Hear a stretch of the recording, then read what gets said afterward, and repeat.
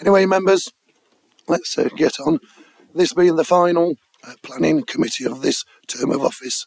So, I'd just like to remind you, we are in Purdah.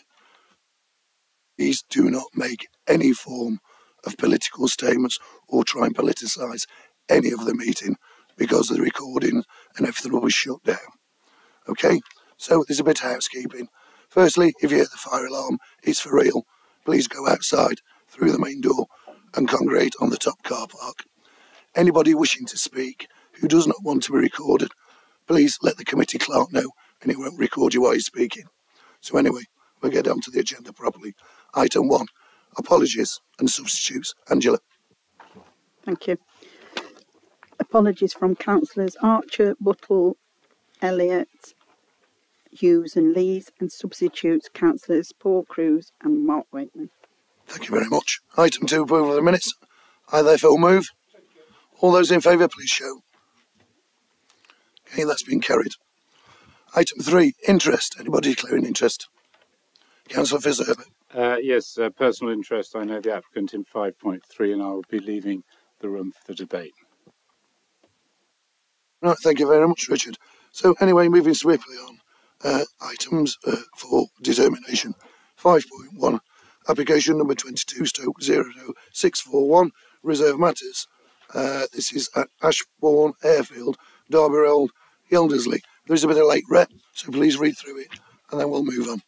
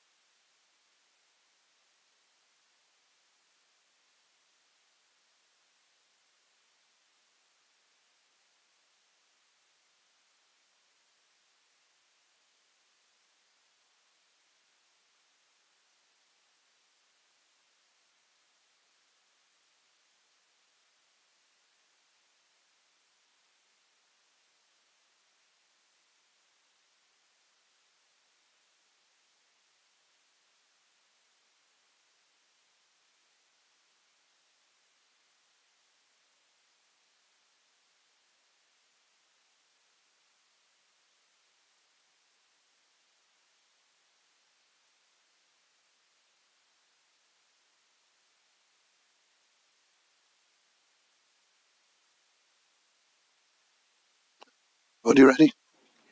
Yep. Yep. Okay. The first on my list to speak is Mr. Grant Anderson, is Hill Dickinson planning agent, to speak against the application. You have three minutes. I'll let you know when there's 30 seconds left.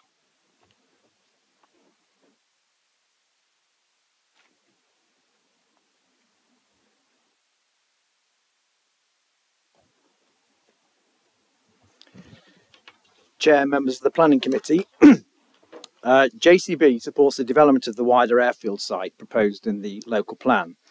However, given the importance of the site and the scale of development proposed, JCB considers it important that the development of the whole site is comprehensively planned at the outset to ensure all necessary infrastructure is in place and that a coherent, comprehensive and high quality development is achieved. In JCB's submission, that requires key stakeholders in the council to work in partnership to agree at the outset a comprehensive master plan for the entire site, both phases one and two, and to provide a framework for individual applications to come forward.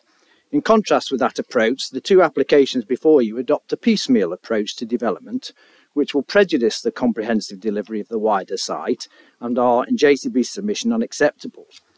A fundamental objection for JCB is that the Reserve Matters application fails to accommodate JCB's existing 7.5 metre wide access, which is required to provide access for its large construction vehicles and low loaders HGVs transporting large construction equipment to JCB's land for testing and training as part of the business. That access will continue to be required for a number of years until JCB's land, which is allocated for housing, comes forward as a later phase within phase two. the Reserve Matters application does not accommodate that 7.5 metre access. Instead, it requires JCB's HGV traffic to use an unsuitable 5 metre residential road to access JCB's land. Indeed, for JCB to use the full 7.5 metres access to which it's entitled would involve vehicles having to mount the pavements. The Reserve Matters layout will therefore inevitably lead to road safety issues, to conflict between residents and JCB's traffic, with the inevitable pressure on JCB to curtail its existing operations. Planning policy is clear at a national and local level that existing businesses should not have unreasonable constraints placed on them as a result of new development, and that is clearly the case here, and the application is therefore unacceptable. JCB is also concerned the two applications will result in a poor quality access to the phase two residential allocation, with the access running between industrial and commercial development. The application has also failed to demonstrate the sufficient capacity within the A52 roundabout to serve the whole of the airfield site at the increased density proposed in these applications. That should be of particular concern given that substantial public funds have been spent on the delivery of the roundabout access, specifically with the objective of providing access to serve the whole of the airfield site. JCB therefore fully supports the officers in their assessment of the two applications and respectfully requests that the two applications are refused. Absolutely spot on. Thank you very much. Next on my list is Miss Helen Bareford, the applicant speak in favour of the application. You have five minutes. I'll let you know when there's 30 seconds left.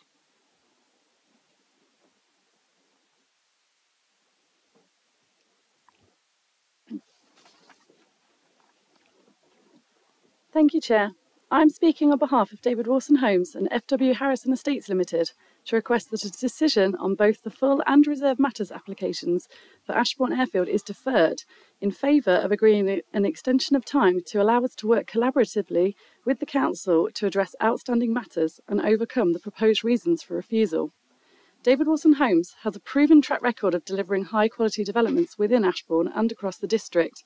However, we have not been afforded sufficient time following the latest round of consultation responses, where a number have been submitted following the committee report deadline, in order to be able to adequately respond to and or make potential amendments where agreed as necessary. We strongly believe that the outstanding matters can be resolved and are committed to working with the Council, statutory consultees and third parties in a positive and proactive manner to deliver a high quality scheme on an allocated site. The principle of 367 residential dwellings on the site is secured by the Hybrid Planning Permission. An additional 101 dwellings are proposed on the site to make the most efficient and effective use of allocated land in accordance with para 124 of the NPPF.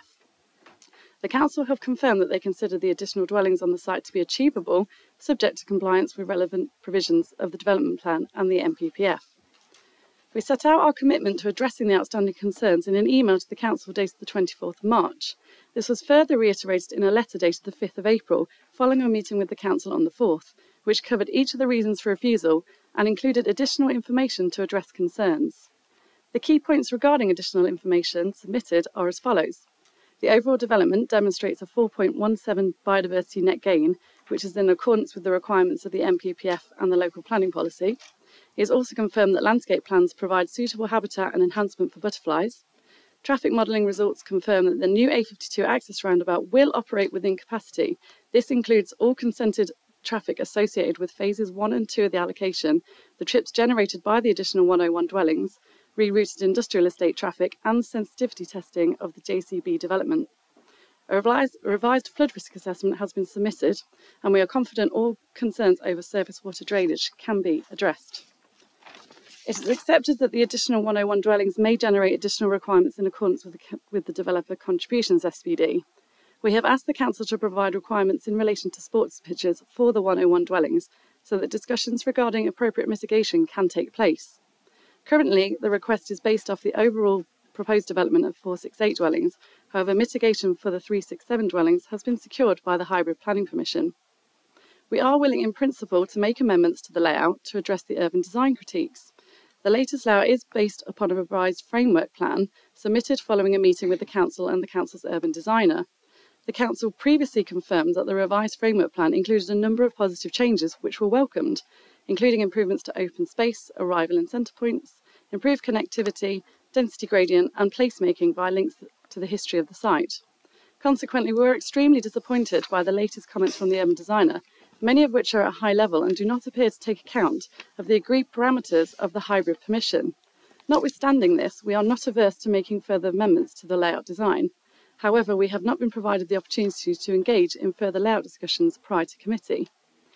We acknowledge the Council's position that JCB have an extent operation on adjacent land to the airfield, and in accordance with Para 187 of the NPPF, New development has a requirement to provide suitable mitigation for existing businesses, where it could have a significant adverse effect on new development.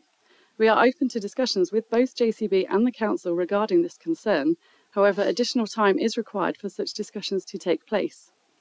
In summary, we are committed to delivering a high quality development on this allocated site.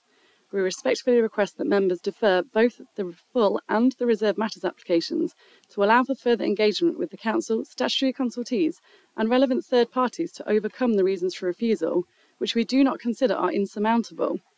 We strongly believe that it is within our collective interest to proceed in this manner to enable a timely delivery of the desired high quality scheme, rather than the applications be refused, which will lead to unnecessary delays at a time when the Council cannot demonstrate a five year housing land supply and is therefore vulnerable to inappropriate development elsewhere in the district. Thank you for your time. Thank you very much. Okay, anyway, over to Chris. Thank you, Chair. Um, I appreciate this is a complex application um, with numerous reasons for refusal. Um, before I address the, the, previous speakers and some of the, the, comments that were made, I think it's worth just talking members through the, the late representations received. So we have had late representations from um, local residents, Ashbourne Town Council, um, and the adjacent landowner. The concerns and, matters raised in those late representations is largely covered in the, the officer's report. Um, the final item of, of, late correspondence is a letter from um, the applicant in this case, which um, repeats a lot of what was said in the um, the last speaker's comments request in terms of requesting deferral and um, their comments in relation to the specific reasons for refusal in respect of this application.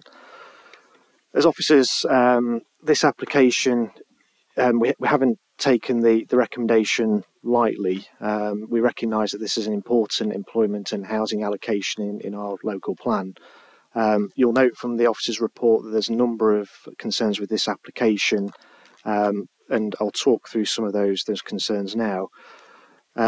The, the, first matter um, to, to, to, discuss is the um, the design and the layout of the development and the appropriateness of that. Um, the council, in recognition that this is part of a larger development, um, quite significant urban extension of Ashbourne, um, we, we recognised that there was a requirement to consider the site holistically um, and look at what what is in effect placemaking and, and how this um, how this development would contribute to that.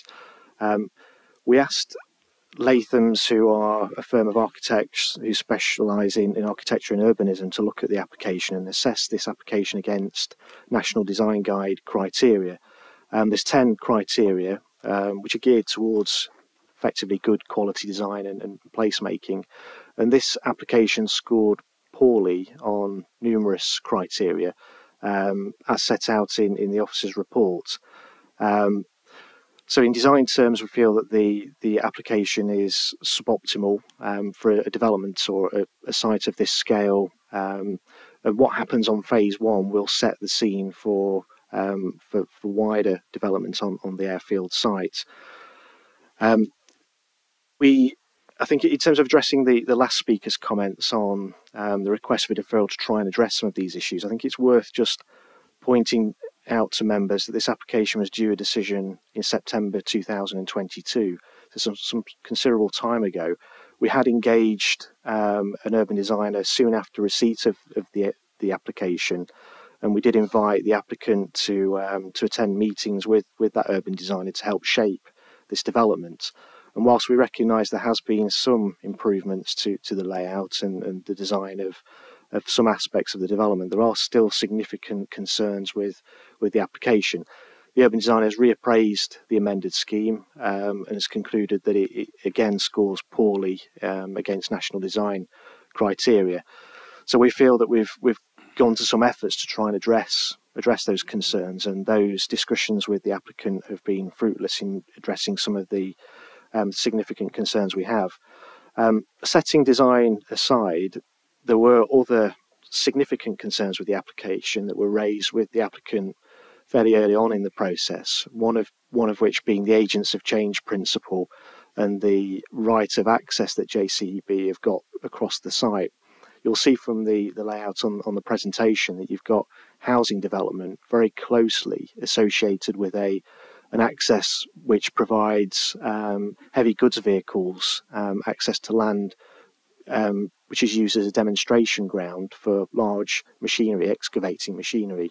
Um, there's no restrictions on that use, and um, the, the, potential um, adverse impacts are significant on future residents of, of this estate, and that could have an adverse impact on that, that existing business. That's not been properly considered as part of this application in, in officers' view um, there's not either an appropriate buffer um, to ensure that those impacts aren't um, significant on, on future residents or appropriate mitigation in the form of alternative access to, to the training ground hasn't been provided. Um, so that matter remains unresolved. You'll see in the late representation sheet that there is a section on the um, the operations on adjacent land, and you'll see there um, the planning history of the site. So that use is a long established use, um, and our planning record suggests that the earliest permission was in 1970 for an excavator area and machine security um, place on, on the adjacent land. And there's been subsequent applications for um, training and amenity buildings on, on the site. So that is a significant constraint and a constraint that hasn't been um, fully addressed as part of this application.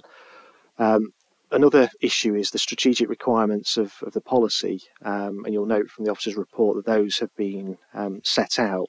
So, policy DS1 of the um, the local plan requires, amongst other things, provision of a comprehensive landscaping plan, um, which includes retention of landscape features, provision of substantial landscape buffer between existing and new development, the provision of a landscape buffer to the rear of existing properties on Ladyhole Lane, um, provision of an area reserved for wildlife along the northeastern boundary, um, amongst other other things. And you can see on the, the layout that's before you this evening that the um, the development is rather dense. Is there's a linear park running through the site, um, but it doesn't address those strategic requirements of the policy.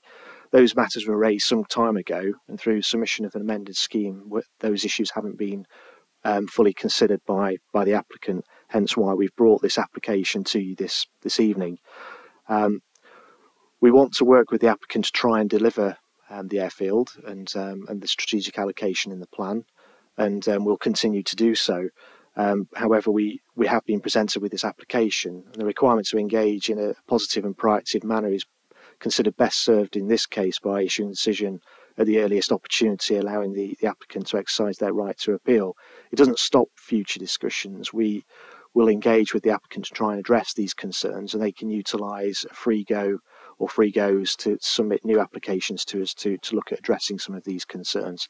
So it doesn't represent an end in discussions to, to try and resolve some of these matters. It, it is at the start of a discussion, and there's a clear um, statement or position, well, positions clear in, in the officer's report in terms of how we feel this this development um, complies or doesn't comply with with development plan policy and and and, and national guidance.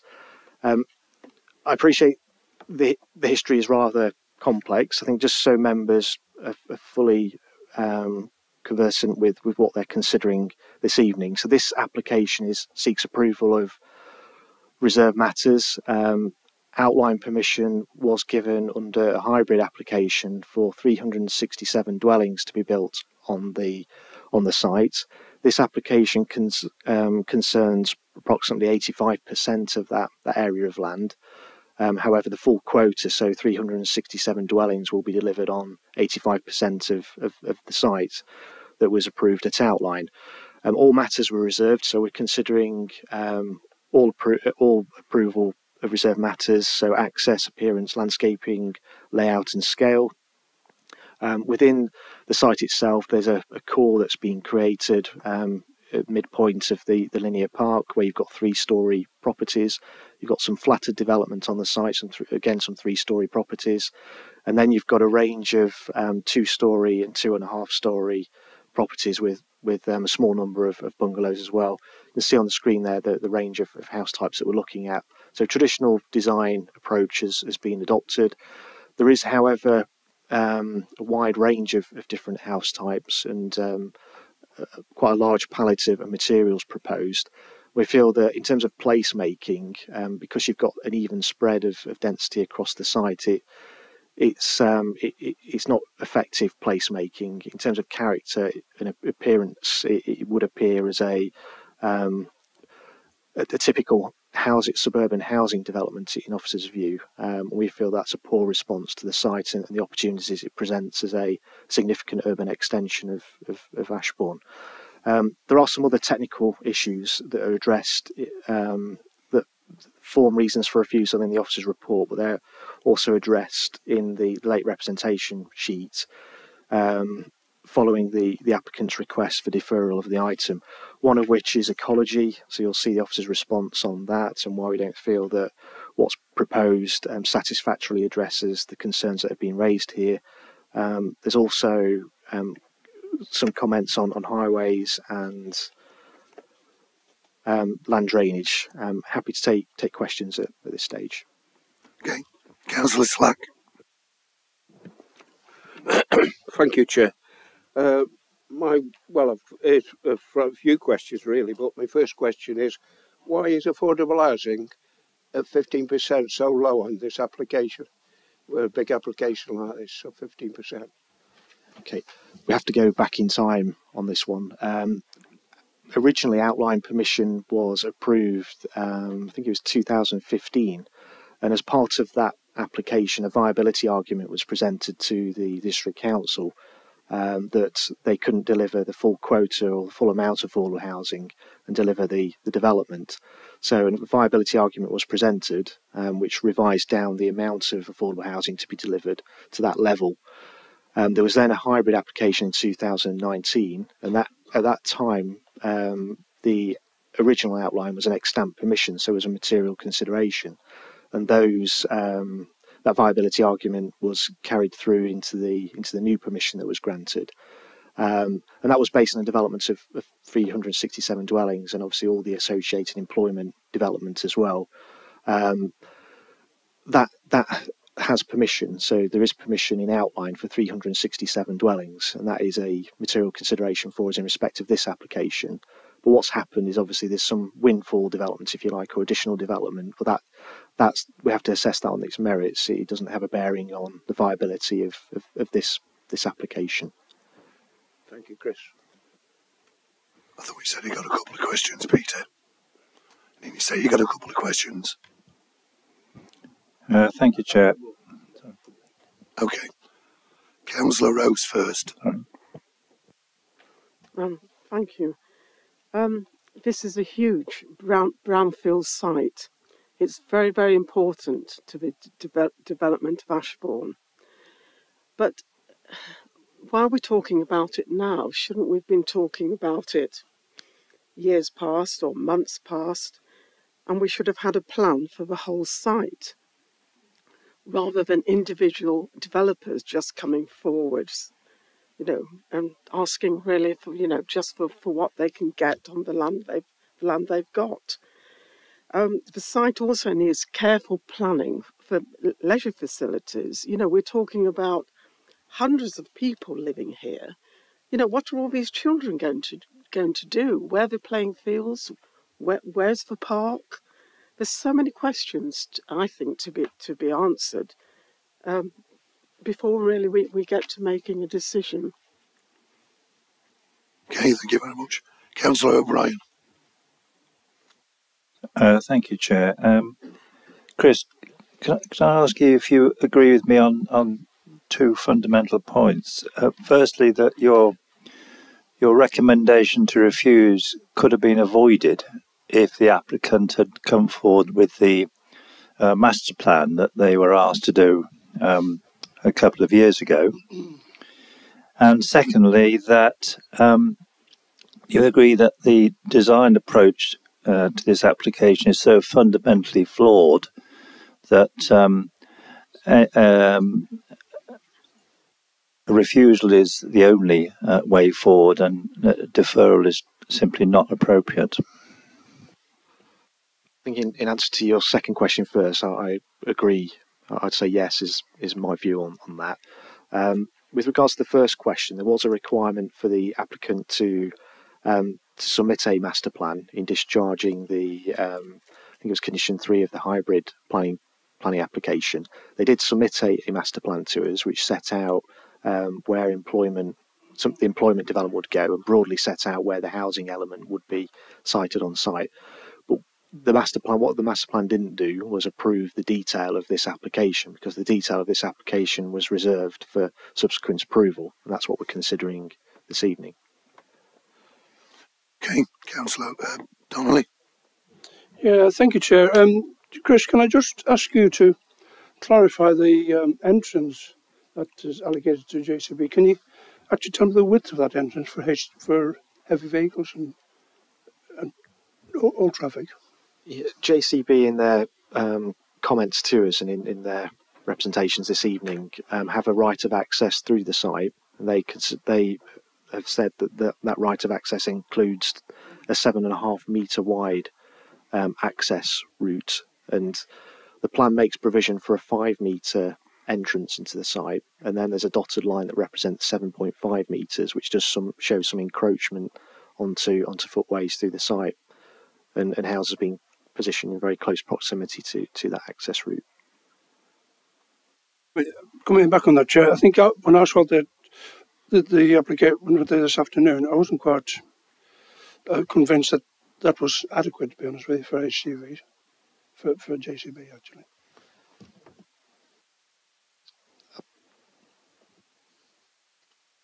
Okay, nobody else down for questions. I'll move into debate. Councillor O'Brien. Well, I'd like to move the uh, recommend, recommendation, uh, Chair, and I, I, I, welcome it, and I, I particularly welcome the, the reasons behind the recommendation. Uh, I think i think I'm right in saying this is the first major application to be assessed against uh, the national design criteria. And uh, I hope that this gives confidence to, to members of this committee to, um, to to agree that applications can be refused on uh, on design grounds. I think this is something we've been nervous of doing in the past because uh, people have felt uh, that design is um, perhaps a matter of individual taste. But I think it's clear from the officer's appraisal of this application that it's not. It's about creating uh, places of quality. Uh, it's about creating places that reflect the architectural traditions of the Derbyshire Dales. It's not about opening page 47 of a pattern book and selecting uh, a design which um, the, that particular house builder uh, thinks is going to sell for the most profit. I think this refusal will give a clear message to developers that this council uh, will no longer accept uh, mediocre housing development, not just in Ashbourne but throughout the Derbyshire Dales. Thank you, Chair. Councillor Slacky wishing to second that. Uh, Chair. Yeah, thank you. Do, do you want, do you want to yes, speak now? please. Yes, thank you. Also, uh, I'd like to uh, comment on uh, a number of problems with this uh, application. Um, it, it's same as uh, central heating. I mean, it's gas central heating again, and we come into the time when we should, should be reducing gas central heating. There's no mention of deep borehole um, heat pumps or uh, air source heat pumps. There's no mentioning of them in the, the application, and a lot more. The flooding aspect is a great, a great problem and needs to be sorted out. There's so many things wrong with this application that I totally agree with uh, the officers on this, and I, um, I second this, Chair. Thank you very much. Councillor Fitzherbert.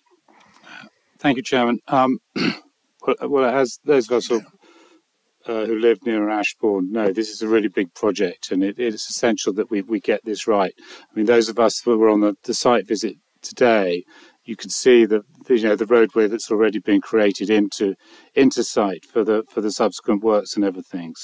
Um, you know, I'm not a great analyzer of, of detail, but I know people who are, and they're sitting uh, uh, to my right.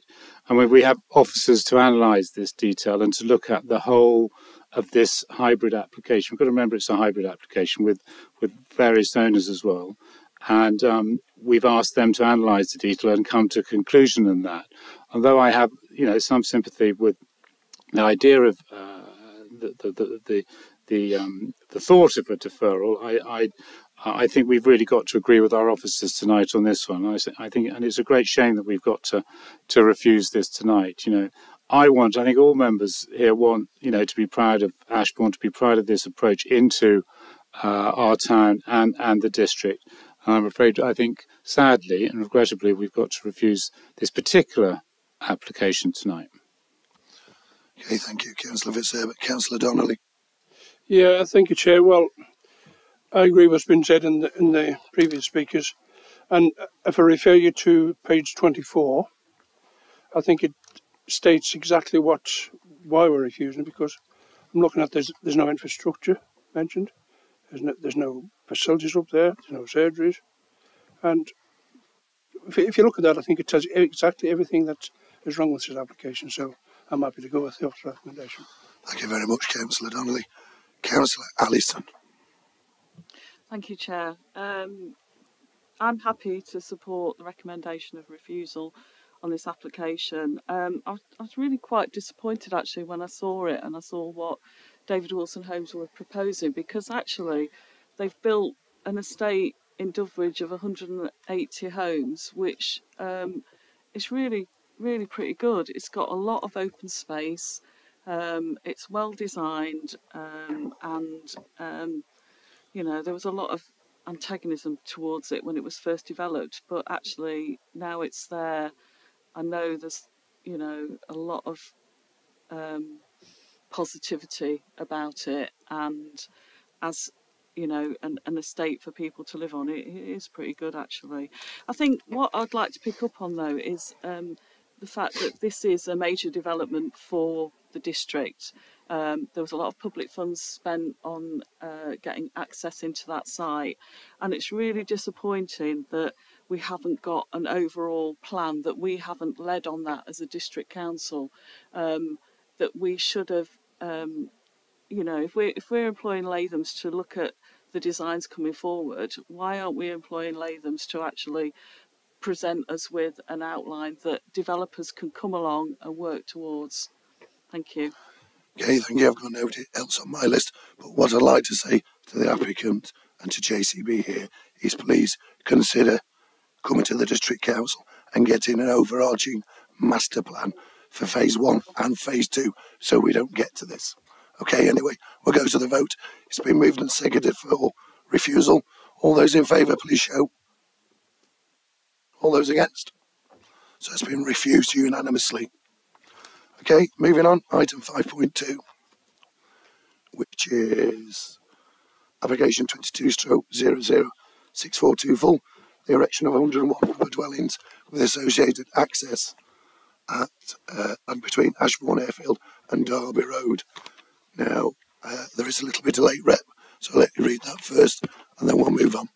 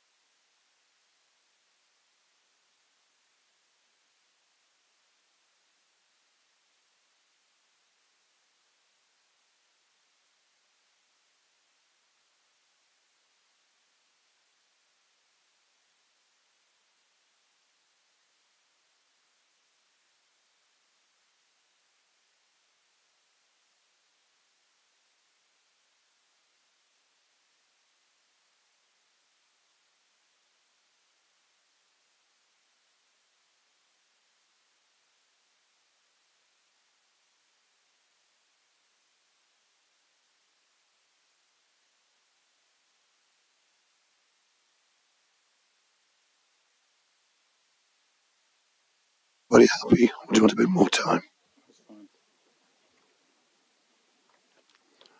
Councillor Burfield, you happy? Okay. In which case, then we'll move on. I have two speakers again on this. The first is Mr. Grant Anderson, Hill Diggers and Planning Agent to speak against. You have three minutes, and then I'll let you know when you have 30 seconds left. Chair, I won't be taking three minutes. Just Thank to, you, thank you very much. Ju- just to confirm, I mean, obviously the JCB right of access point doesn't apply to this application, but our other comments uh, and objections in relation to prejudicing the comprehensive development of the wider airfield site phases one and two do apply, and that's that's all I've got to say. Okay, thank you very much. Right. Helen Bearford, the applicant, you have five minutes. I'll let you know when you've got 30 seconds left. Um, likewise, the comments I've made previously in regards to the reserve matters application were made um, in reference to both the full and the reserve matters taken as a whole. Um, we did strongly believe that deferral was the more collaborative approach. I do appreciate that there is some work to do in regards to design, um, but yeah, we don't have any further comments to say. Okay, Thank you. thank you very much. Anyway, Chris, over to you. Thank you, Chair. Um, this application concerns the remaining 15% approximately of land that was um, approved in outline for up to 367 dwellings. This is presented as standalone full application because it goes outside or beyond the the numbers that were approved by the the, the hybrid sorry hybrid um, planning permission that's in place. So it concerns the um, the northwestern section of the site. It's a part of the site to be built out by Barratt Homes, uh, which I believe is a subsidiary of, of David Wilson um, Bar- Barratt's company. Um, so that the house types are slightly different. We've got um, we've got 18 house types um, on on this part of, of the site. We've got um, the, the majority, vast majority of it being serviced off the um, the main the main access off off the link road, which serves the majority of housing development. There is a, a separate spur that serves a flatter development um, just to the north, um, which you can just about make out on that that image before you.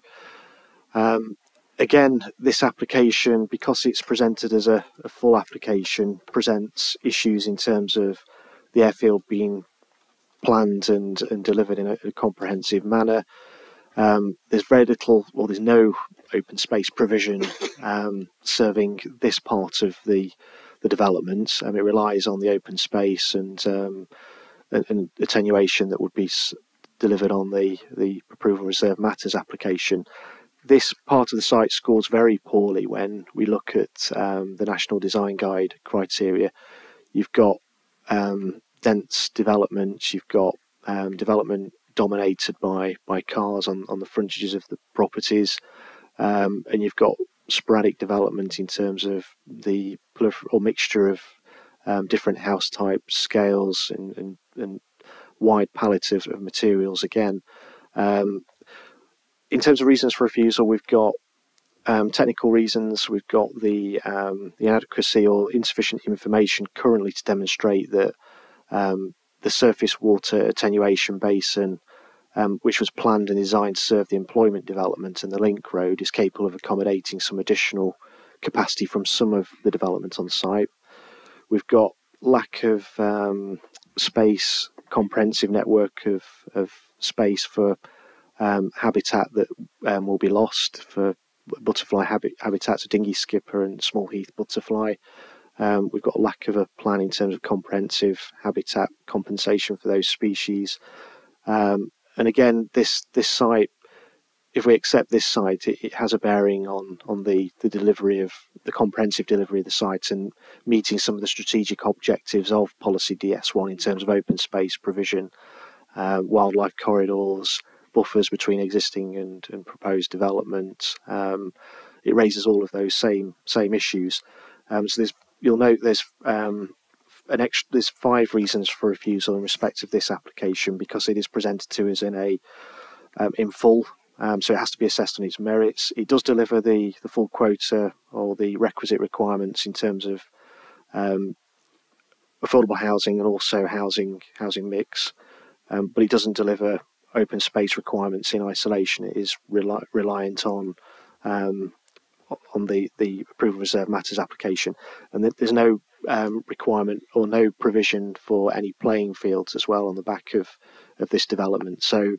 When the hybrid application was considered, there was a requirement for one and a half playing fields, and it was envisaged that, that would be delivered on, on phase two land. But now we've got additional developments on, on the site, um, there's no provision for um, for playing fields to, to serve that part of the development, or no comprehensive plan for where those playing fields will be will be located on site. So there's various reasons for refusal. I'm happy to take take questions on on this this standalone full application. Members' questions, or do you want to go straight into debate? Councillor Donny. Well, thank you, Chair. Um, again, on the site visit this afternoon, and knowing the area very well, I think it's a very, very poor application. I think that's something that's just been thrown in there and, and it just, just doesn't fit into the area at all, especially along where all the properties are on Lady Hole Lane. So I'm happy to move for a recommendation for refusal. Thank you very much, Councillor. Councillor Slack. Chair. Uh, there's so, so, as I said before, there's so much wrong with this application, and Chris has outlined a great number of things what need to be changed. So there's no choice but to refuse this. So I'm pleased to second that, Chair. Thank you, Councillor Anybody else wishing to speak in debate? No? In which case, then I'll go to the vote. It's been moved and seconded for refusal. All those in favour, please show. Who's against? And any abstention? So that's been unanimously refused. Okay, thank you very much. Moving on, application 5.3. with erection of two number holiday accommodation units and erection of one holiday pod at Woodside, Chesterfield Road, Roseley, Matlock. So we have no late reps, we have no speakers.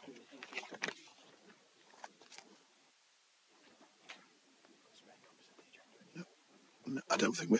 Angela, have we got any spare copy of the agenda? I'll let you have the committee clerks.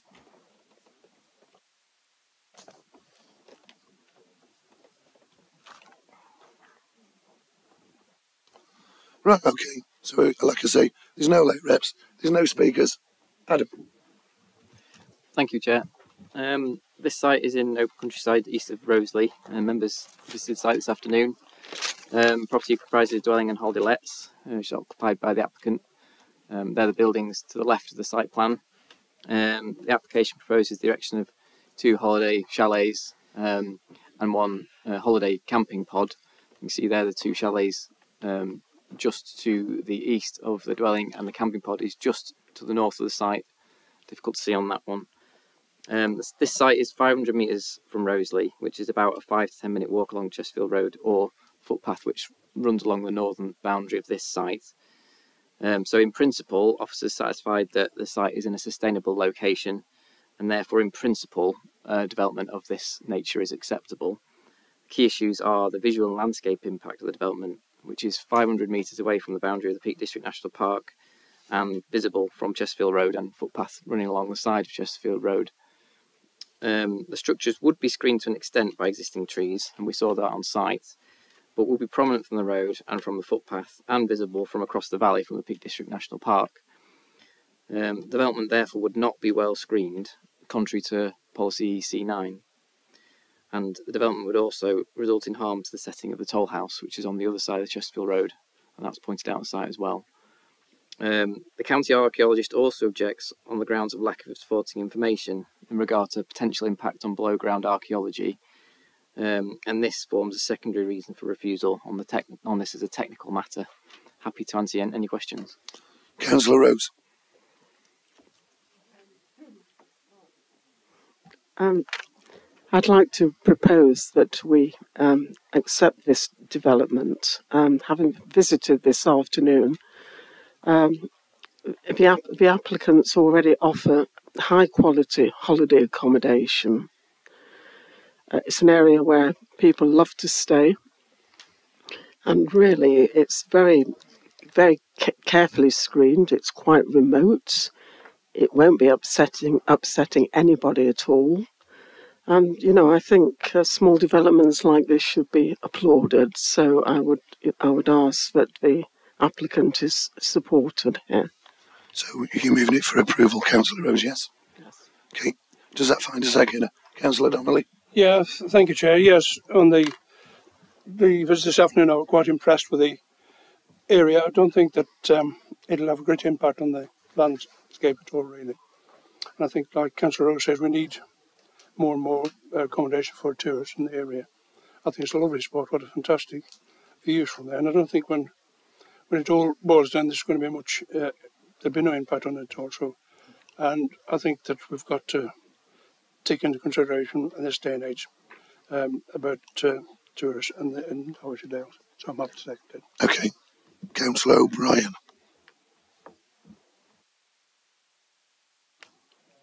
Just going to ask, I'd, like to hear um, a full um, a full explanation of the proposal from officers before we uh, move into proposals, Chair.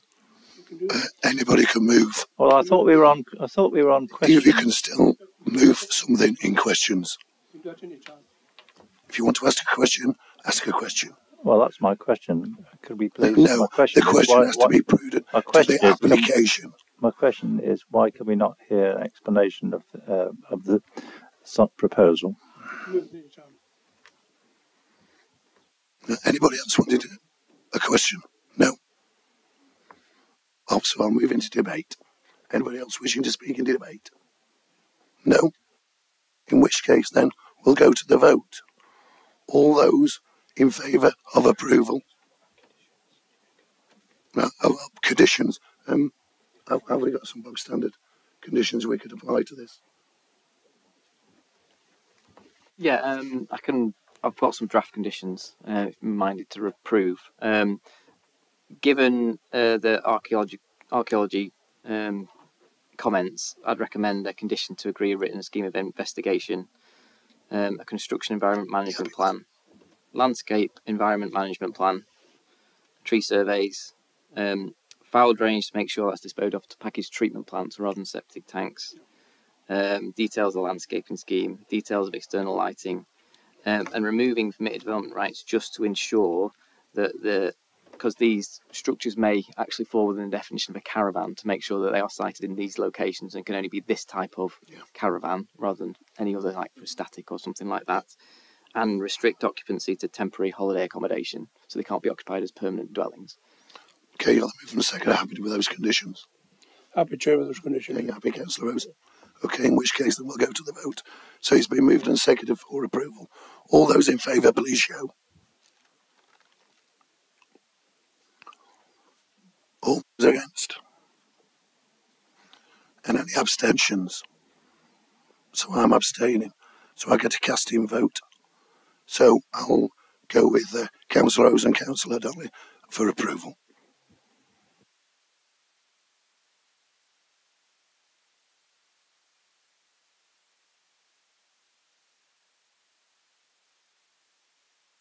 Sorry about that. So uh, we'll have to do it again. then. All those in favour, please show. One, two, three, four. All those against, five. An abstention, which is me. So it's failed. So we need to go to the substantive motion. Somebody needs to put that on the table. Councillor Slack. Thank you, Chair. I recommend that we support the officers in their recommendation, Chair. Seconder. Okay. So all those in favour of officer's recommendations, please show. And all those against. So it's been refused. Okay. Right. Moving swiftly on. Application. Yeah. Application 5.4 is Gardens. There's some late reps on this, so I'll let you read that and then we'll move on to the speakers.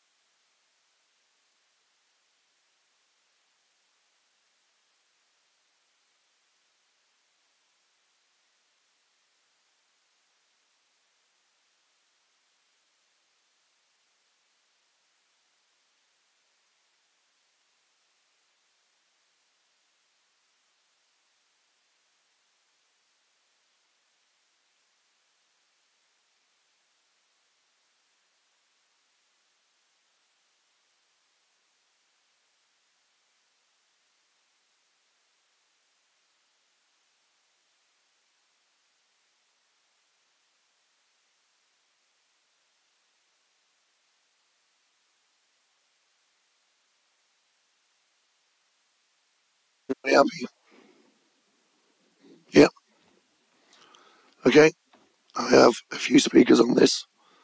So the first on my list is Councillor Vicky Rains from Parish, from Tansley Parish Council, to speak in favour of the application. You have three minutes. I'll let you know when there's 30 seconds left. uh, Parish Council will be supporting this application with some provisos. Stancliffe's Homes brought plans to share with our community after going through pre-app with the LA, the first developer in our village to respect the Localism Act.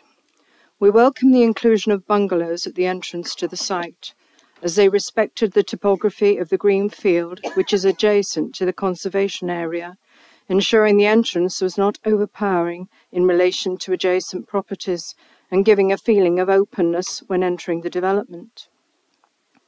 Why then have planners imposed changes to the entrance to the site, requiring the substitution of two story homes rather than the favoured bungalows, making the development appear overbearing and urban in nature and not reflecting the village setting?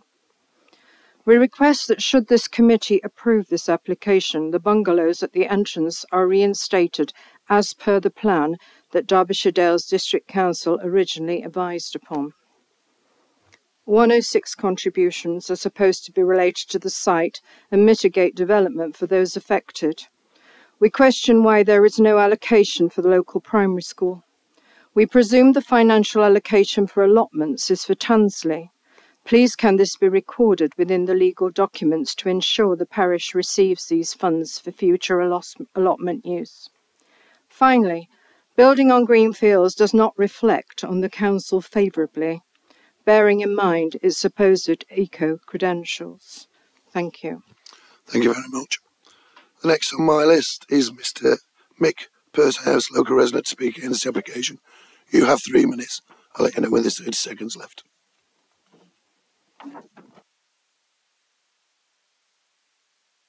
Can can you turn the microphone on, please? That's it. Right. When my wife and I uh, first moved into Tawny Close, um, that's over five years ago. At that point in time, the plan showed one uh, detached house opposite our living room window, and that house was end on to our living room window. We think that that plan took our amenity into account.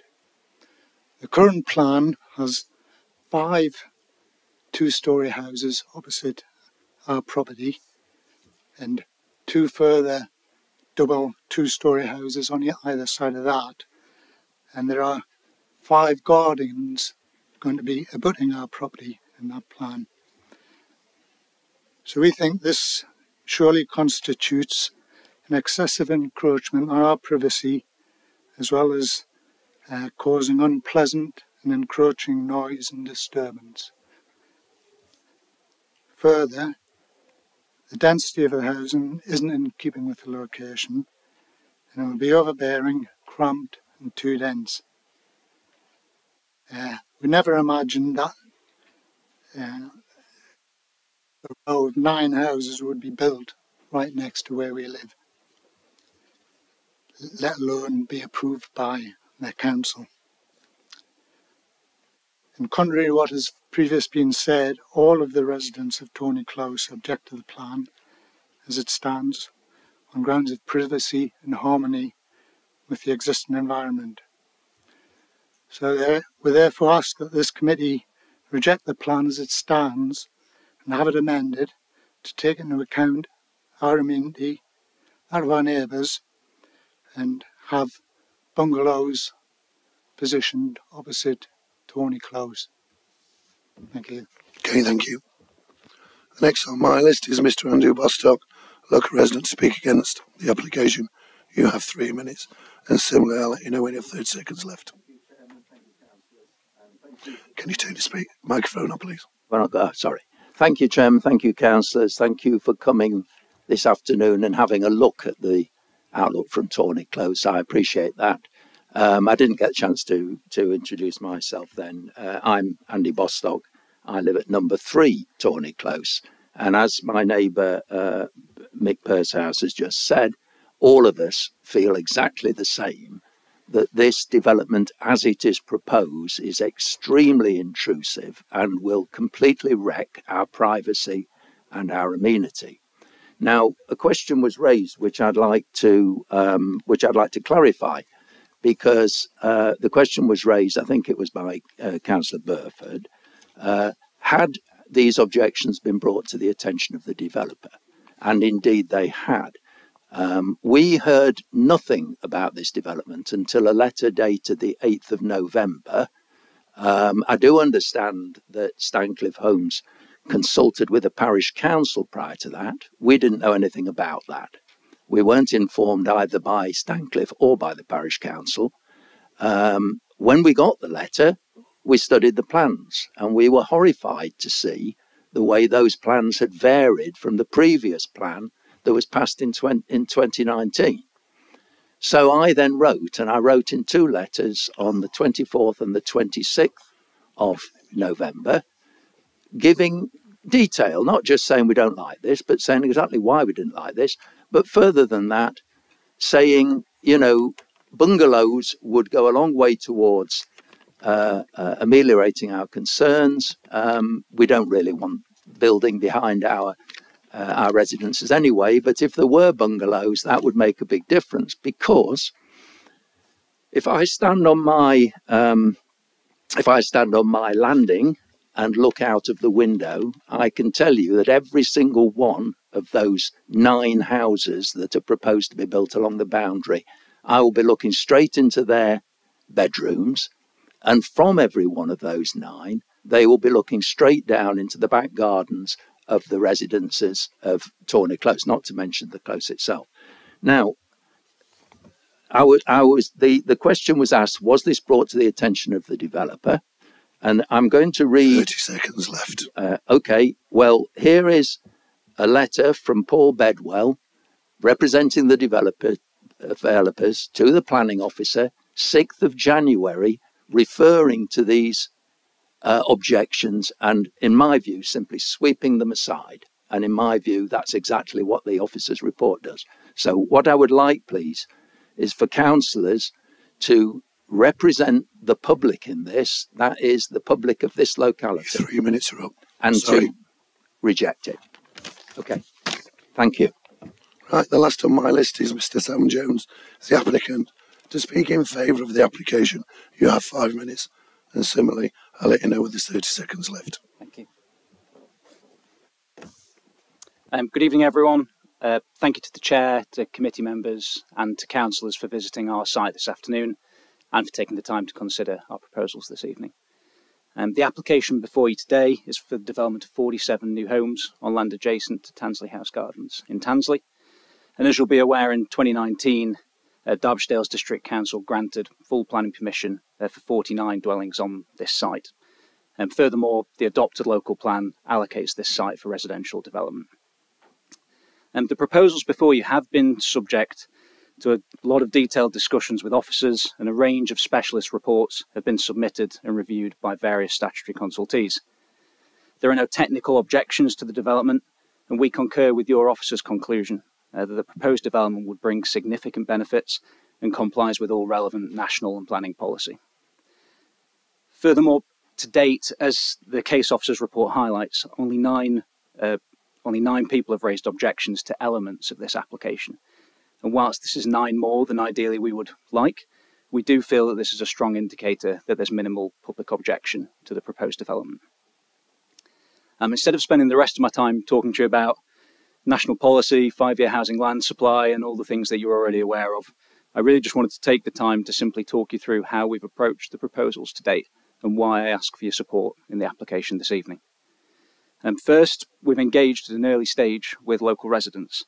Uh, we recognise the value that community engagement can bring during the planning process, and I would thank the Chair of Tansley Parish Council for the good natured and constructive way that they've approached us as a developer here. We've met with various uh, residents, parish councillors, and there has been an open meeting available to all residents of Tansley uh, as part of this application. And the constructive feedback that those sessions provide has been incorporated in the proposals before you today, wherever we've deemed it possible. Second, we've endeavoured to design a scheme which will deliver uh, a wide mix of high quality homes for the village. Our proposals deliver one, two, three, four, and five bedroom houses and two and three bedroom bungalows, which will cater for a wide range of housing needs. A number of the homes on site will also be designated for first homes, the new government scheme, which will mean they're secured for first time buyers only and they'll receive a 30% discount on the market value to help them get on to the housing ladder. Third, the materials that we've proposed, I think, are entirely appropriate for the local area. We've ensured that every elevation of every home on site uh, will be built in natural stone. This was a matter of great importance to the parish council, and we've also incorporated a range of natural uh, stone walling to many of the front boundaries, which is a characteristic you see throughout the village. Fourth, I think all of us here recognise the value of the natural environment, and we're pleased that our proposals demonstrably result in a 19% increase in biodiversity value of the site. The site's been designed to ensure that only two existing trees are lost, and this is more than offset by the 41 new trees that we're planting as part of the development. Uh, and finally, we've committed to providing both electric vehicle charging points and solar panels on every home in the development. We recognise that Derbyshire Dales places great importance on energy sustainability, as do we as a company, and we believe that our proposals conform with those objectives entirely. Um, one matter that has been brought up in by the speakers before me this evening is the impact of our proposals on really two uh, existing dwellings that sit adjacent to our site on Tawney Croft. And whilst I respect those opinions uh, that have been shared, I don't share the view that our proposals in any way will have an unacceptable impact on those existing homes. I just take the opportunity to point out the numbers one and two Tawney Croft sit over two and a half metres higher than the finished floor level of the closest proposed development on our site, and there's over 21 metres separation distance between the rear of those dwellings and the homes on Tawney Croft, which meets widely accepted design principles in national planning policy. As such, I am confident that the homes in this area won't have an unacceptable impact on those occupiers. Uh, finally, I just wanted to highlight that the application before you is not from a speculative land trader, but from a local house builder, and we employ a number of people in the local area. Should the committee choose to grant permission this evening, Stancliffe uh, Homes would commit to working, uh, commencing the works on site within the coming weeks. And it's really just to say that we are determined to deliver a high. Thank you. Uh, we are determined to de deliver a high quality development of new homes that meets the needs of a wide range of occupiers and that we truly hope will be a credit to the village. As such, I respectfully request that members approve this application in line with your officer's recommendation. Thank you very much for your time. Thank you very much. Thank you. Sarah. Obviously, we visited the site today. Um, um, the site is allocated for 49 dwellings. Um, our the proposal before you is for 47. Um, there was a previous application in 2019 um, that has now lapsed, so it can't. It, it, you know, there is no permission as it stands. Um, and in designing this layout, etc., um, it's taken on board the, the site constraints in terms of drainage, um, protected trees um, surrounding the site, um, and the land levels all have brought up constraints that meant the layout did have to change in order for it to be developed. Um, in, as part of this proposal, Tansley House Gardens would be brought up to adoptable standard where it meets Church Street.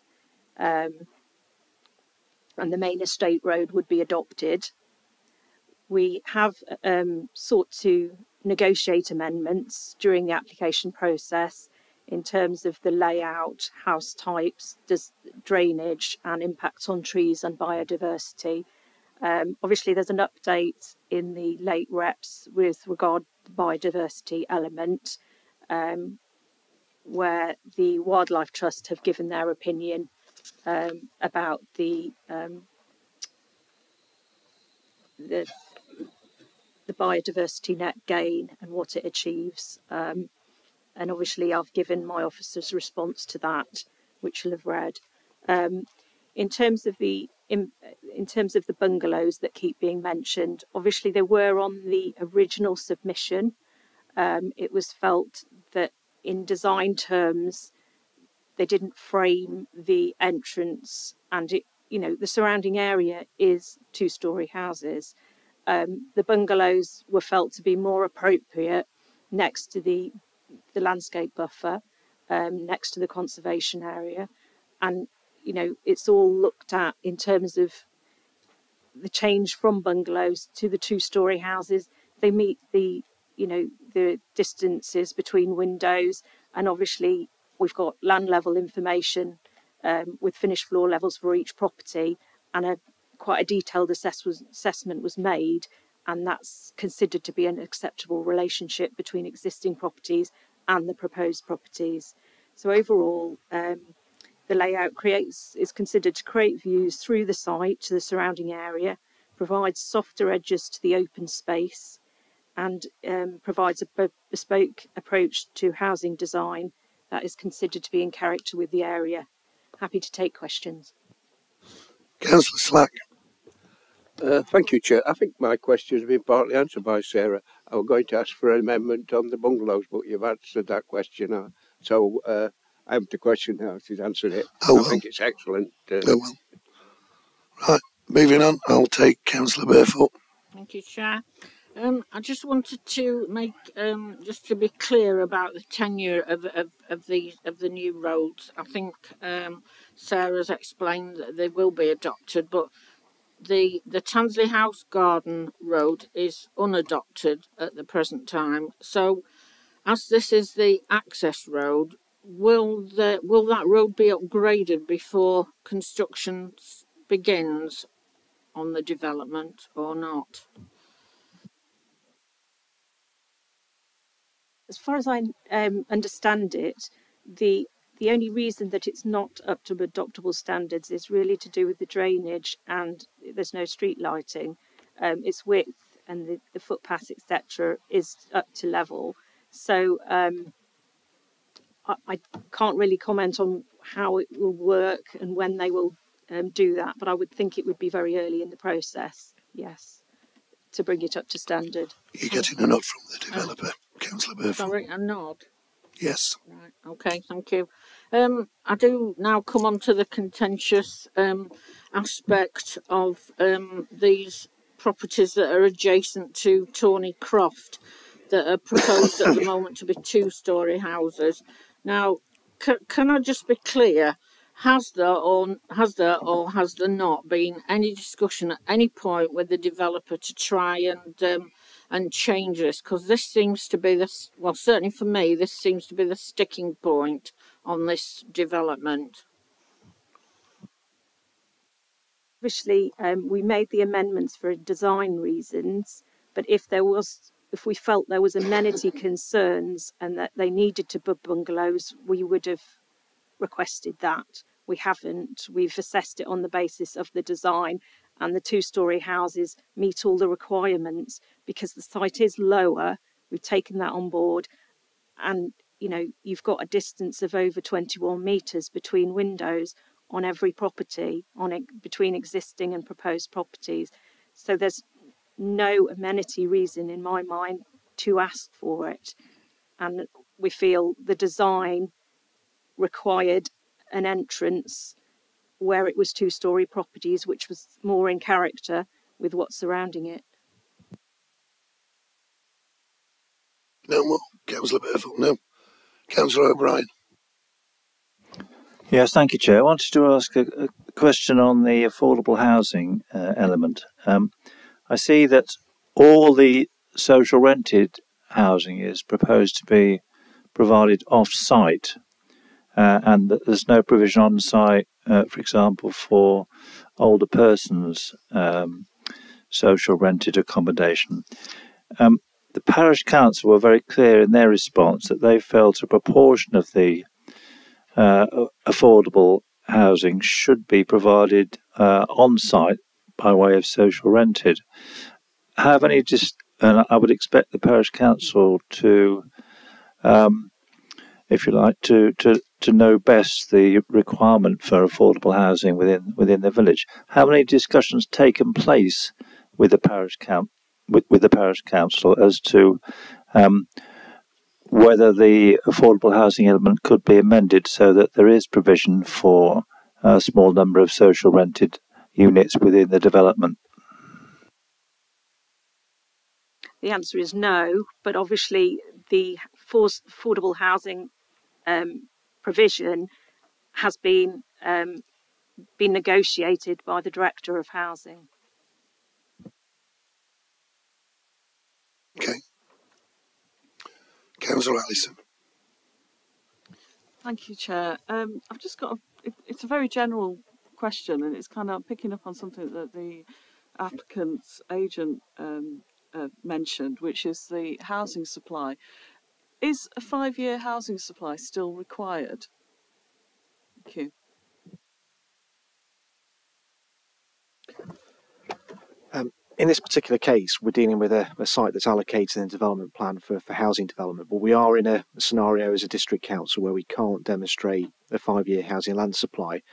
And what national policy um, requires in, in, in, that consideration is that we give um, we apply a tilted balance in favour of the development unless there are significant and demonstrable reasons for, for refusing development.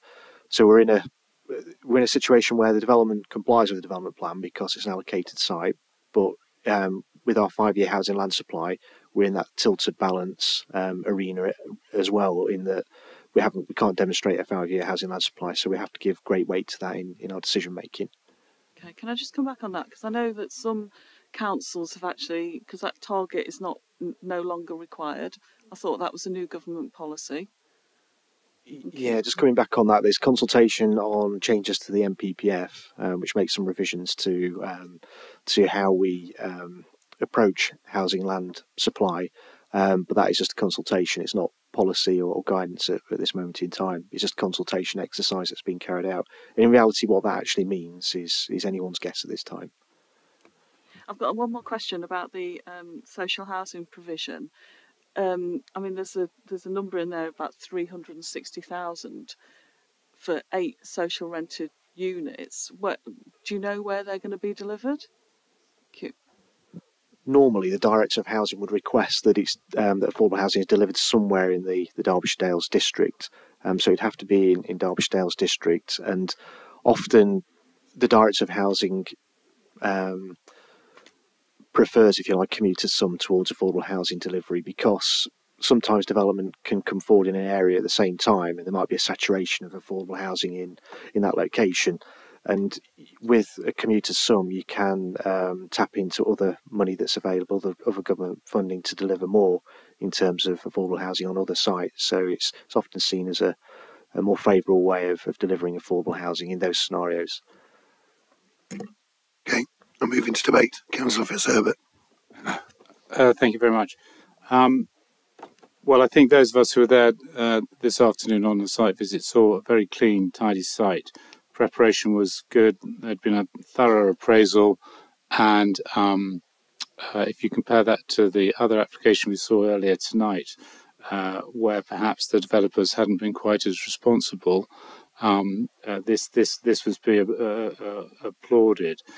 I think there's good practice there. I appreciate the concerns of the uh, residents locally who have commented and and written into us uh, previously to that. Uh, but once again, you know, I defer to the to the knowledge and expertise of our officers, and Sarah's explained, um, you know, how she how she's plotted that uh, from uh, from from the desk. Okay, so uh, I'm happy with that, and I'm thrilled that Tansley Parish Council are, are, behind the scheme. I think you've got some great responsible developers there, and I'd like to move officer's recommendation for approval. Okay, thank you, Councillor Fitzherbert. Councillor Wakeman. Yes, I'd like to second it, Chair, please. Do you, do you want to speak in debate or do you no. want to reserve the right? No. Okay. Councillor Burfoot. Uh, thank you, Chair. Um, well, I think we know that the principle of development's been uh, established here, and I think there are some very good um, things about this development. I mean, we can list solar panels that we certainly don't always get in development, so that's that's excellent. Um, we've got a biodiversity net gain. We've got um, we've got natural stone buildings, no red brick. Thank you.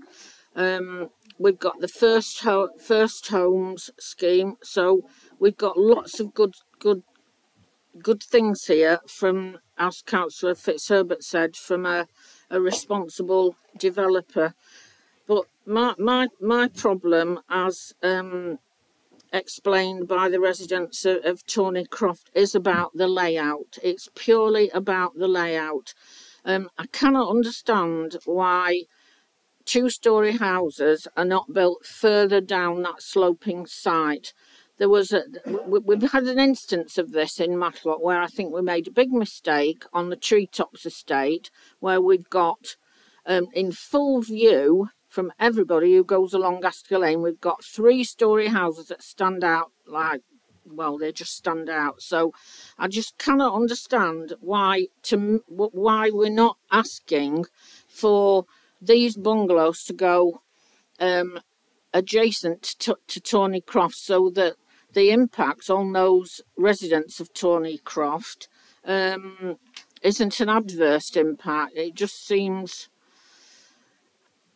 the sensible thing to do. And I really can't understand why we've not asked them to do that. There obviously will be an impact on, on those residents of Tawnycroft, but if there were bungalows there, it wouldn't be as, as, as big. So um, it's all about the layout for me. Thank you. Okay, Councillor Burfoot. The last on my list is Councillor Slack, and then we'll go to the vote. Uh, thank you, Chair. Yeah, I think it's an excellent uh, development, really. Uh, as Councillor Fitzherbert pointed out, with lots of pluses on this. 60% affordable housing going to other sites, uh, first stone 25%, uh, shared ownership 50, another 15%. It's it's all good, very good, completely different to the first application tonight. But uh, as Councillor Burfoot said, there's just a little problem there with the people in, in the Tawny Close which have uh, experienced. Um, I know you've a right to uh, lie, but to not review the old saying was, wasn't it, in planning? And probably the light's all right, but the view's been taken away. So it is difficult, and uh, I probably may have be better if the developer does look and, and switch it round to bungalows, maybe. Possible. Is it too late at this stage? You know, I'd like to. I won't go against this application, but I'd like to see it slightly amended, as Councillor Burfoot has suggested. Thank you, Chair. Okay, the last time my list, even though I said I wasn't have anybody, is Councillor Cruz. Thank you, Chair. What's our scope for uh, seeking an amendment so that we can adjust the uh, the approach so that we can take a look at these bungalows being placed or bungalows being placed in a in a more positive location for the residents that have raised the concerns. It seems to me as well that uh, the parish council are in favour of the development. There's lots of reasons why, I'm sure, but uh, there were some provisos, so I don't think they were fully in favour of the development as it's laid out. Um, so I'm just wondering if our officers could guide us in terms of how technically we could achieve feedback to the developer to take another look. Yeah, just coming back on, that, Councillor Cruz, there's a number of uh, matters to consider. Um, one being, obviously, we've got a, a, layout in front of us and a developer that's wanting to get on and, and build these houses. Um, if members were minded to defer the item um, to consider an alternative layout, you'd have to be very specific in terms of what you'd, you'd require in order to address your concerns. Um, that will result in, in delay um, of a couple of months because there's no um, there's no planning committee in, in, in May. So the next committee would be in June, um, assuming we could get the item back to committee in the early summer. Um, the other thing to consider is the necessity of um, bungalows in that location we appreciate that obviously there's concerns from residents that live in that part of the settlement in terms of the impacts of the new development on, on their residential amenity.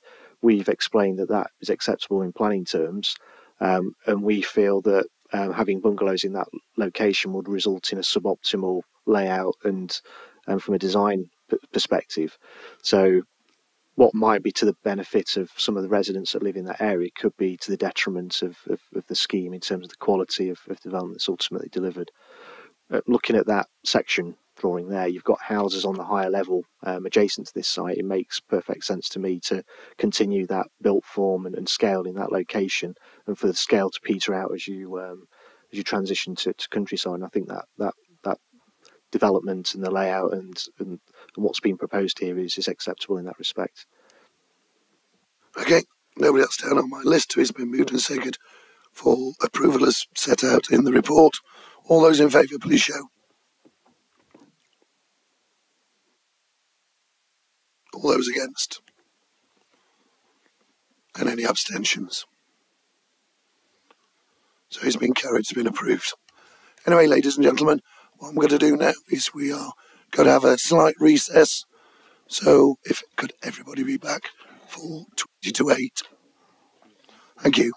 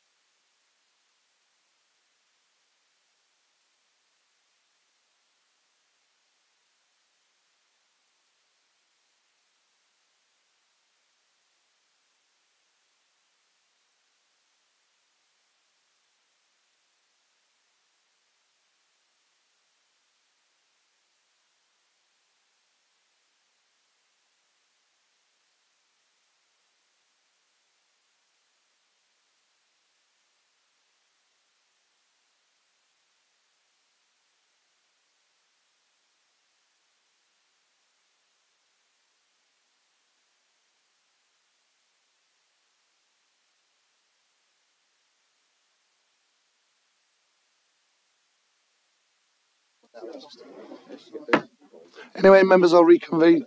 Um, the next application is 5.5, which is application number 22 stroke 01316 full construction of a replacement mixed use Discovery Centre and associated landscaping, drainage and car parking at the National Stone Centre in Middleton by Wirksworth.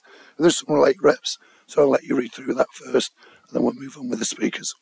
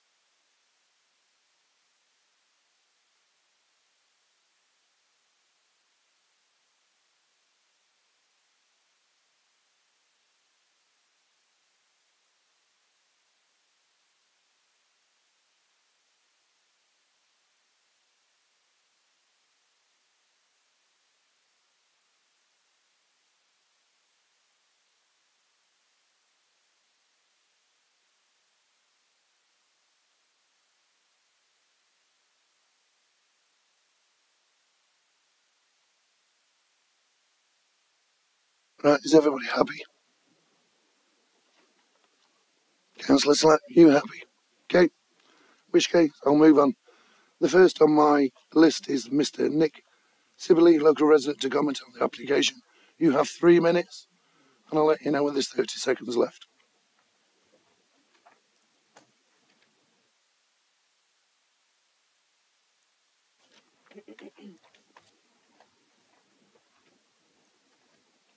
Just turn the microphone on.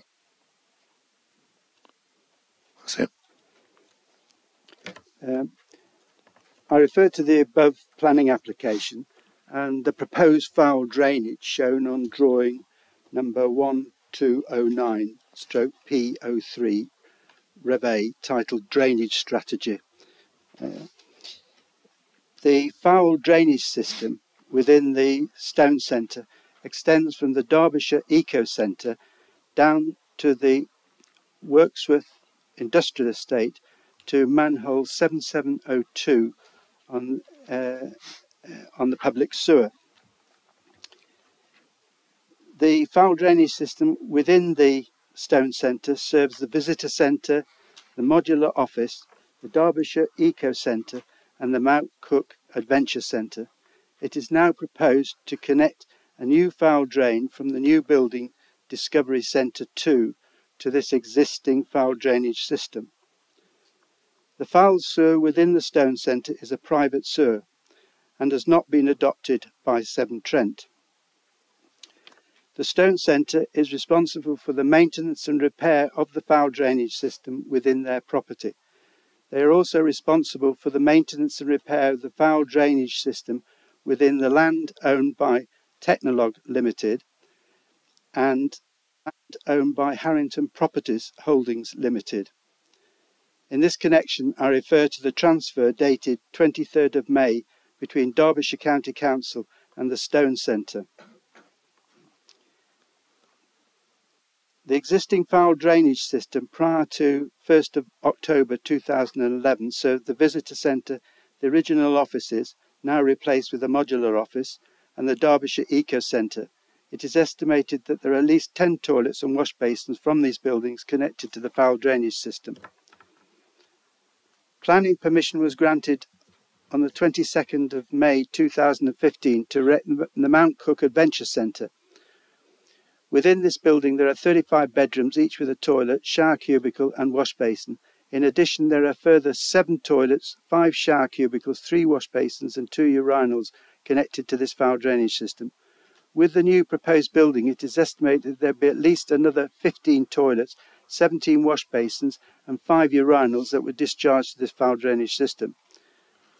30 seconds left. It is understood uh, it is understood that the foul drainage system between manholes FM1 and FM4 well uh, have not been adopted.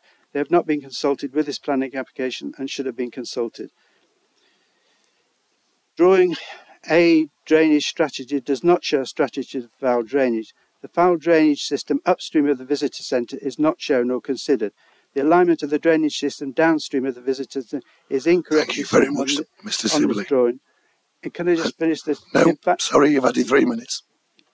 Okay. Okay.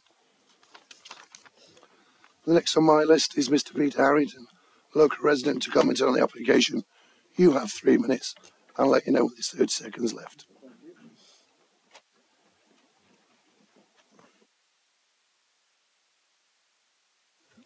Uh, I'm the managing director of Harrington Property Holdings, who own most of the uh, Ravenstor Road industrial estate, situated in the old quarry below the Stone Centre. I'm actually very much in favour of this development. I think it'll be a huge benefit to Wirksworth. But my problem is the sewage disposal from the site, which hasn't been adequately considered. The routing of the sewer shown on the application drawings is incorrect. The first part is correct. It travels down Old Lane but halfway down it diverts off through our industrial estate and discharges into the Severn Trent sewer on Cromford Road. With my objection letter, I attached a plan showing this routing. The sewer was built in the 1980s by Derbyshire County Council purely to serve the Stone Centre. In the conveyance of extra land to the Stone Centre in 2000, the Stone Centre was made responsible for the maintenance of this sewer as far as the centre of our industrial estate. In 2011, a new Water Act was passed which made water authorities responsible for lateral drains, that is, drains which serve more than one curtilage. Two weeks ago, I was made aware of a, of a serious sewage leak behind one of our units. A manhole lid had blown off under pressure, and the surrounding area was covered four inches deep in sewage.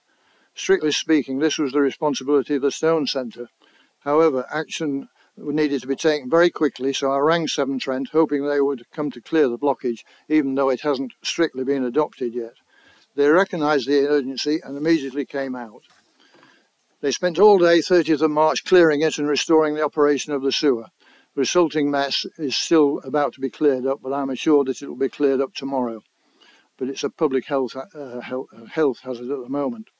I also contacted the Stone Centre through the CEO of the Institute of Quarrying, James Thorne, with details of the blockage, also attaching correct plans of the sewer, route of the sewer. Unfortunately, I have not had the courtesy of a reply so far. Since this sewer was built purely for the Stone Centre, two more activities, Mount Cook and the Eco Centre, have been built on the site and they also discharge into the sewer, both without any consideration of the sewer capacity. I strongly suggest if this application is approved, the following conditions need to be attached. One, the Stone Centre should confirm that Severn Trent has formally adopted the sewer under the 2011 Act and show it on their sewer plans. Two, if Severn Trent, Severn Trent do adopt the, adopt the sewer, then they need to investigate whether the sewer is adequate size and a good enough condition for the new loading of a 100 seat restaurant. In my experience as a civil engineer and owner of the industrial thank you, owner of the industrial estate for 30 years, unless these two conditions are attached, there will be many more manhole blowouts on the estate, causing a huge public health problem to our tenants. Thank you. Thank you very much. The last on my list is Miss Viv Russell, the agent, to speak in favour of the application. Take it you've changed gender. So you have five minutes. I'll let you know with there's 30 seconds left. Uh, thank you, thank you, Mr. Chair, and thank you for the people who came to visit the um, the National Stone Centre this afternoon. Um, the, obviously the um, the application has been um, discussed in a great deal of detail and the consultation as part of the process. Really, what I would like to concentrate on talking to the um, the, the, committee this after, um, this evening is about the opportunity that a uh, the the replacement of the the, the building. Um, the Stone Centre was a charity that was taken over by um, uh, by the Institute of Quarrying. There was the merging of two charities, non-for-profit charities, and that has become an international base now for the Institute of Quarrying.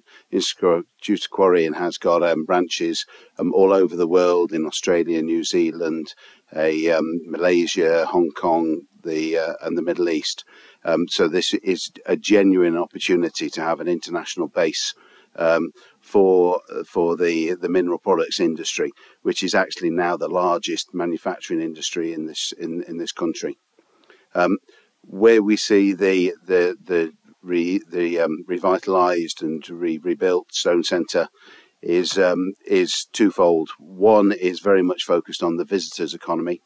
Um, the May through to the end of September, we would be looking at a um, uh, people coming to visit not only the 40 acre site with the six quarries on there, but also uh, um, uh, exhibitions that are not only sort of museum based, but we're looking at the, the technology that's being used in our industry now and future technologies. It, uh, it is very important that we use this as an opportunity to inspire um, young people coming into this uh, major uh, major employer and manufacturer in this country. Um, the other aspect um, of it is that there's opportunities uh, and uh, um, of industrial tourism. We would be looking to during the summer running a um, visits to the Tarmac Tunstead Works, Hope Cement Works, Longcliffe Quarries, showing showing the the technology and the fantastic opportunities for, for skills and learning that, that our industry um, uh, um, uh, uh have, have got the opportunity for the from really from October through to uh, um, to April, it will be very much about uh, education and skills. We'll be looking to use the centre uh, um, for uh, um, for training uh, and amalgamating the in- industries um, institutions there and we've already got very, very good links with Chesterfield College for apprenticeships, Buxton College for apprenticeships, and we're also engaging now uh, with the Prince's Trust um, and uh, the Duke of Edinburgh's. So I think that it's given a fantastic opportunity for the um, for for the, for the area for not only improving visitors um, to the area but also highlighting an industry that is that is really centred around Derbyshire for the, the 46 years that I've been in industry and I'm president of the Institute of Quarrying, uh, the vast majority of my time I've worked in Derbyshire as a tar- tarmac director and formerly as a um, the group managing director of Longcliffe. So I understand the stewardship uh, um, and the, the importance of the local community. And I think this will be a, a fantastic opportunity for the for the community to get involved in the industry that uh, um, that provides over two billion pounds worth of GVA to Derbyshire. Thank you. Thank you very much, Adam. Thank you, Chair. Um, the National Stone Centre, as we know, is located in the former Coal Hills quarry site. Uh, the, the, current site provides a permanent story of stone exhibition along with a cafe and educational facilities. Um, the site is partially within the Coal Hill Quarries Triple SI um, and the National Stone Centre Quarries local wildlife site. Uh, and the site is also partially within the Middleton By Wirksworth conservation area, so it is a fairly sensitive site, uh, important for local cultural heritage and recreation and education opportunities. Um, this application seeks planning permission for a replacement discovery centre, along with associated landscaping, drainage, and car parking. Our policies in principle support uh, education enhanced facilities at this site proposals for a contemporary building of a high quality design, which officers consider is appropriate for the site and its context, and subject to planning conditions as set out in the report and late reps, um, the development would um, be designed to mitigate the impacts of climate change, conserve cultural heritage of the site, enhance public access, geodiversity, and biodiversity. The application is therefore welcome and recommended for approval, subject to conditions, and a planning obligation to secure a travel plan. Um, we've heard comments there on foul drainage. Um, the development is proposed to be served by the main sewer, which, from a planning point of view, is acceptable in principle. Um, the existing sewer may need to be upgraded to facilitate the development, and whether that is undertaken by a statutory undertaker or by the developer um, would be normally a matter for building regulations. Um, from a planning point of view, it is acceptable that foul sewerage goes to the main sewer. Um, if members thought it was necessary, uh, a planning condition could be imposed requiring a connection to the main sewer to be carried out before the development's first occupied. Happy to answer any questions. Councillor Slack. Uh, thank you, Chair. Yeah, it's an excellent, excellent uh, development. This, and I fully support it of it. But uh, we've got to get the drainage system right. Obviously, uh, if it, this restaurant, when it gets into use, will be an enormous lot of people using the the uh, restaurant, and obviously, it's got to uh, take all the foul, foul sewerage. So this has to be given to the officers to uh, sort this out and and get this proper connection installed and it, with Severn Trent's probably helping advising you. I think this is needed before the part of the application really. Uh, so I'd like officers' comments on that. Would they take this over to work with Severn Trent to get this sorted out? Because it, uh, you know, it'll be a great opportunity when this gets in, gets uh, built and installed. So we don't want to fall down on the drainage system with manhole blowing up or anything like that. Obviously. Yeah. So uh, just coming back to you, Councillor Slack, on, on that that question, um, valid valid concerns, and um, fully take on board what what the um, first two speakers said. Um, as Adam has explained, from a planning perspective, connection to um, the main sewer is acceptable in planning terms. There's two ways you could. I mean, we, have suggested we suggested a condition um, if members were concerned about such connections being made that the, the development shouldn't be occupied until um, connections to um, the main sewer have been made. Or you could go further than that if you wanted to see the details or for us to, to, to understand what those details are. Um, you could ask for the scheme to be submitted and approved, um, and then for that scheme to be implemented as, as approved, just to give us that extra control if you, if you wanted that. But it, it's within your gift really to recommend a, a condition that just requires a connection or a condition that requires a scheme to be submitted to us and then and then approved. But in planning terms, the connection to the main sewer is is, is, is all that we require. Well, thank you. But um, as you just said, um, the development's got to be built yet, so it can be going coincide with the building of the development to get the new sewer connected properly. I would have thought so. That would be the best way to go. Well, to ensure the development is appropriately drained in terms of foul sewage, I don't think it's a, an issue in, in, to impose a condition asking for that scheme to be submitted and approved, and then for it to be implemented as approved. I think as a as a condition, that's that's something that could be imposed. Yeah, as long as you make sure that it is imposed. Yeah, so you could you yeah. could recommend approval with with that condition yeah, if you wanted yeah, to. Yeah, yeah, with that condition. Yeah. Okay, Peter. Uh, Councillor O'Brien. Yeah, thank you, Chair. I've got a couple of questions on the parking, actually, um, because we are we are keen to reduce the impact of uh, of new developments on um, people travelling by car. Uh, I see here that um, the proposal is to more than double the, the size, the capacity of the car park, uh, parking spaces from 48 to 97. And now that that implies to me that if we are, even if the the proportion of people coming by car stays the same, that the number of visitors is going to double. Um, I'd be interested if that if that proposition was put forward in the application, because while I while I think that would be excellent, it does seem to be very ambitious to me to actually double the number of visitors.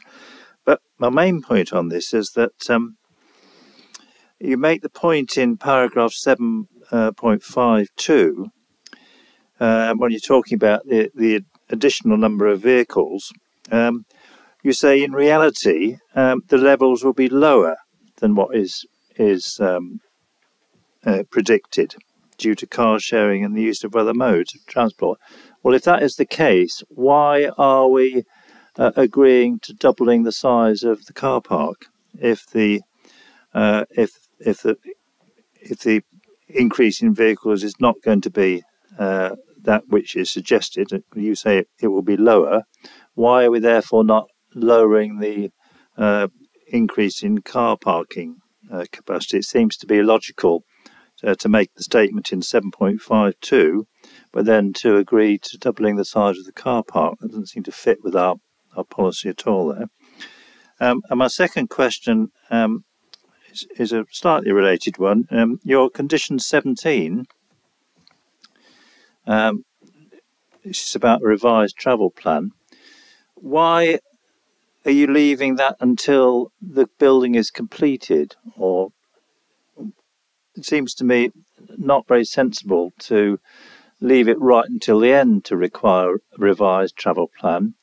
Uh, why don't we ask for a travel plan before uh, construction starts so then we're all certain it can be achieved rather than leave it till the end and say, well, you can't actually occupy the building? I mean, in reality, are we going to stop the building being occupied because we've got some qualms about a travel plan? Why, why don't we agree that first so we all know where we are uh, before we start the building? It doesn't, seem to be a, a, a, very robust condition. So those are my two questions. Uh, thank you for good questions there. Um, in terms of paragraph 7.52, um, reading that back, there is going to be an increase, and I think the, that paragraph does see how that's how you've interpreted it that way. But essentially, it says that the, tra- the submitted transport statement says that the development would result result in an increase of 45 vehicles in the morning peak and 55 in the afternoon peak. So the second sentence is in reality the levels would be lower than that increase. So there will be an increase, but the highway authorities advised us that in their view it will be lower than the submitted tran- the figures in the transport statement, but nevertheless there will be an increase.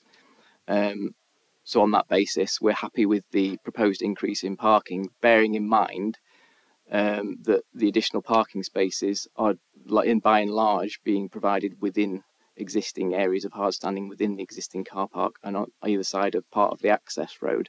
So there isn't a new large car park being put in. It's just making better use of the space that's already there. Um, in terms of, I'll just come back on it. But if the increase is, is in parking spaces is 49, and you're saying the increase is going to be lower than the 45 or 55, why why are we allowing 49 extra car parking spaces? We think it is proportionate.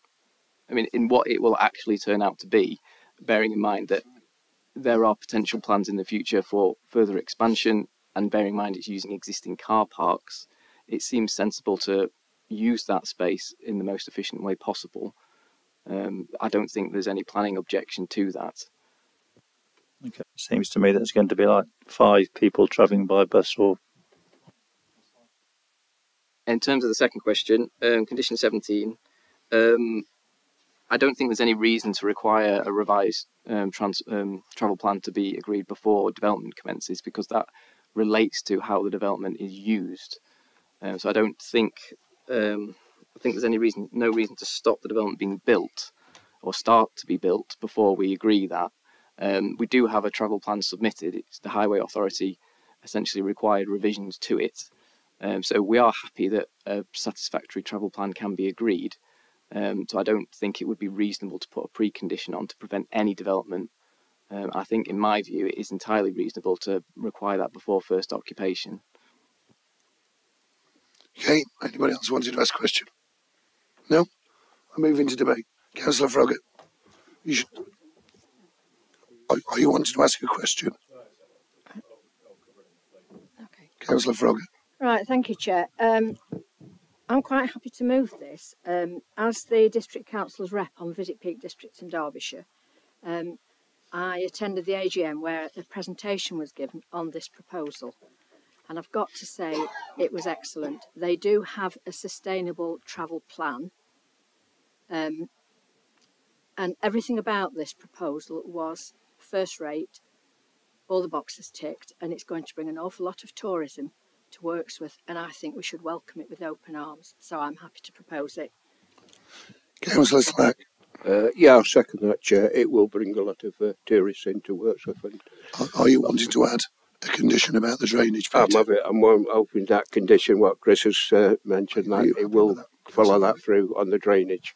I shall keep keep an eye on that one because it I does need to be be correct. That does. You know, it, the the project's a great project, and we don't want to be let it down with drainage. That's the the problem. That's the. But it's a, it's a great uh, a great project, I think, entirely. So I'm fully supportive of it. Yeah, with the inclusion of that The condition, inclusion of which. I think Councillor Froggatt is quite supportive of. Yeah. Anyway, uh, Councillor Cruz and Councillor Rose. Yeah, it was just to come back to the uh, the drainage point. So for clarity, just so that I'm clear on what we're voting on, are we suggesting that the drainage scheme will be submitted for approval, and at what point will it be submitted for approval? What are we voting on? Yeah, that's. I think we need to um, to hone down on exactly what it is that yeah we require in the condition. I think um, prior to occupation is too late in the um, in the construction of a, a building of, of this scale and demands on, on existing infrastructure. So perhaps um, prior to works beginning on the superstructure, um, which would allow at least commencement of the development to take place, and for them to consider um, what their options are with regards to making connections to the to the public sewer. Um, I think that would be sensible. So prior to works commencing on on the superstructure, um, a scheme of foul um, foul water connection to the main sewer shall be submitted to and approved in writing by the local planning authority. The foul connection shall thereafter be made in accordance with the approved details, something like that. Okay, That that sounds good to me. If I can just check with my colleagues, Councillor Slack and Froggatt, that you're happy with that clarification. that. Yeah, brilliant. I think just just a comment as well um, in terms of the residents who've come along and uh, uh, from Ravenscroft Industrial Estate. I think it's good that you brought your voices here this evening, and I think it was interesting um, that the gentleman who's representing uh, the Stone Centre um, talks about uh, stewardship. I think it's really important that they embrace this opportunity to make sure that there isn't that they're good neighbours and that the sewage really works for the community. So I think that would be really important. And then one other thing, I was at the Stone Centre the other day, and there was some fantastic leek and potato soup. Please make sure you maintain the quality of the soup in whatever you do. Thank you very much. I don't think we can wrap that up into a condition. But anyway, Councillor Rose. Um, ju- just just by chance, my two four-year-old grandsons visited the Stone Centre yesterday, and also the Steeple Grange Railway. So you know, five minutes from home, and what a wonderful day out. Um, so I, th- I think this needs to needs to be applauded. I mean, to be perfectly honest, I hadn't been to the Stone Centre until today, um, and I think it needs a new name. It, it doesn't really invite you. Well, s- you know, as a woman, it doesn't wouldn't invite you to go there. Perhaps a clothes shop might. Um, but um, anyway, they um, they thoroughly enjoyed it. The, the the building is tired. You know, it needs to be pulled down. It's had its day. And I think if the, if the officers can just sort the sewage problem out, and I can understand the two gentlemen behind behind us being concerned, because I mean I would be. Um, so yes, I think I think it's fantastic. Yes, and good luck to everybody. Thank you very much, Councillor Rose. Councillor Fitzherbert. Thank you, Chairman. Uh, well, of course, we've got a history uh, in in this county of of, of, of making, as as you're all aware. We've got a huge uh, industrial heritage here. We've also got, you know, the new kids on the block like David Mellor, uh, Hathersage, and CW Sellors Emporium that we saw going up today, whether you like this construction or not. Uh, and we've got Derwent Valley Mills, um, you know, heritage, heritage um, site. So I, I can applaud this, and it's not just about the visitors. I'm not just talking with my position as chair of, of, of Visit Peak District, but it's also about education and skills, and that's so what's uh, which the applicants mentioned tonight, and I'm thrilled about that. I'm very pleased. Okay, it's been moved and seconded for approval with the added condition about the sewer connection. All those in favour, please show. Any against? And any abstentions? So it's been granted. Thank you very much. Right. Thank you. Moving on. Item 5.6. Application number 22 Stoke 01381 This is proposed extension to existing agricultural storage building at land opposite Ley Hill Farm in Doveridge, Ashbourne. There are no speakers and there's no late reps. So who's taking this? Hello, again then. Thank you, Chair. Um, site an open countryside uh, east of Doveridge and is open fields bounded by trees and hedges. We visited the site um, this afternoon. Um, there is an existing agricultural building on the site which was granted planning permission in 2020. Um, the application proposes an extension um, of the existing building for agricultural store. Um, essentially, what is proposed is another five bays, so essentially duplicating the building along its length. Um, the applicant has stated that the existing enterprise uh, consists of 180 sheep and there is an intention to introduce a cattle herd and increase the number of sheep on the holding. Um, officers therefore consider that on the evidence that has been provided that the development is reasonably required for agriculture and can be accommodated on the site without harm to the landscape or harm undue adverse visual impact. Uh, the application is therefore in accordance with our policies and recommended for approval. Thank you. Members' questions. Councillor Allison. Thank you, Chair. Um, first, I'd just like to say uh, that I'm glad that the enforcement case uh, that was raised against the uh, use of the current um, barn uh, for stone crushing has been completed successfully and that the stone crushing machines have been removed. Um, I've got a question really around the conditions because I can't really see anything in the report that specifically excludes uh, the crushing of hardcore and the commercial activity that's been uh, carried out there over the last sort of 18 months. So, can that be a condition that's added to this application? Thank you.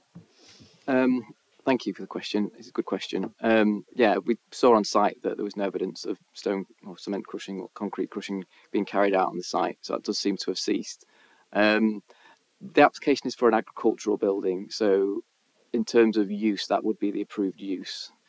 If the buildings or land around them were used for crushing stone, that would be a material change of use of the land, which would need planning permission in, in its own right.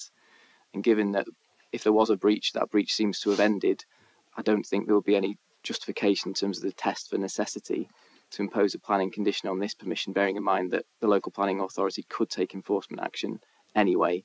A planning condition wouldn't necessarily give us any more power or ability to prevent that. So my advice would be a condition wouldn't be necessary. Okay, I mean, I, I would like to see that condition put against the application because um, I know that that enforcement case went on for about 18 months and it's only due to this application coming forward for an extension that that machinery is actually being moved. Thank you. Anyway, any more questions? No? I'll move into debate then. Anybody want to kick it off? Councillor yeah. Donnelly? Yeah. Well, thank you, Chair. Yeah, um, we went on the visit this morning, or this afternoon, and uh, I couldn't see matter, much matter with the application. So I'm happy to to move it. Okay, thank you very much, Councillor First Herbert. Yeah, I'm, I'm happy to second it. I hope I we have to take these things at face value. Um, and I did ask a few questions of the farmer, and he's obviously seemed to know his stuff. I, I just hope he's not putting the wool over our eyes. Okay. Councillor Allison. Thank you, Chair. Um, I would like to see a specific um, condition against application, but obviously the officers aren't prepared to do that. Um, obviously, I've been contacted by residents for the last couple of years about what's been going on at that site, and you know, frankly, I'm disappointed that we can't exclude that kind of activity. He carries out commercial stone crushing which actually he resurfaces car parks for Sudbury Parish Council. So, you know, it's a, an activity that is known in the area. Thank you. Okay, thank you very much. There's nobody else down on my list, so it's been moved and seconded uh, to be approved. All those in favour, please show. Any more? Peter? No. Against? And any abstentions? So it's been approved, as set out in the report. And last but not least, application number, uh, item number 547, application number 22, stroke 00025 full, change of use of land for glamping site, comprising the siting of 10 number bell tents, shepherds, huts, Stoke timber pods, four number bathroom units, two number woodland lodges, and operation comprising creation of a track, car park, salary buildings, and associated landscaping at Turlow Fields Lane, Liston. So, don't know whether there's any late reps on this. There's, there's a bit of late reps. So, if you want to read through that first, we have no speakers, and I'll go straight over to the officer.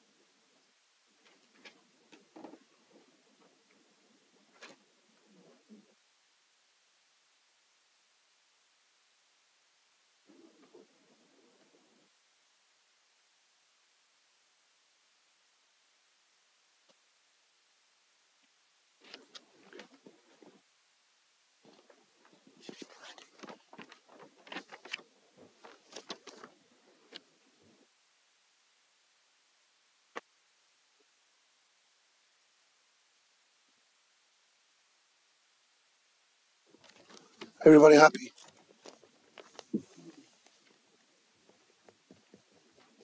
All happy? In which case then, Adam, over to you.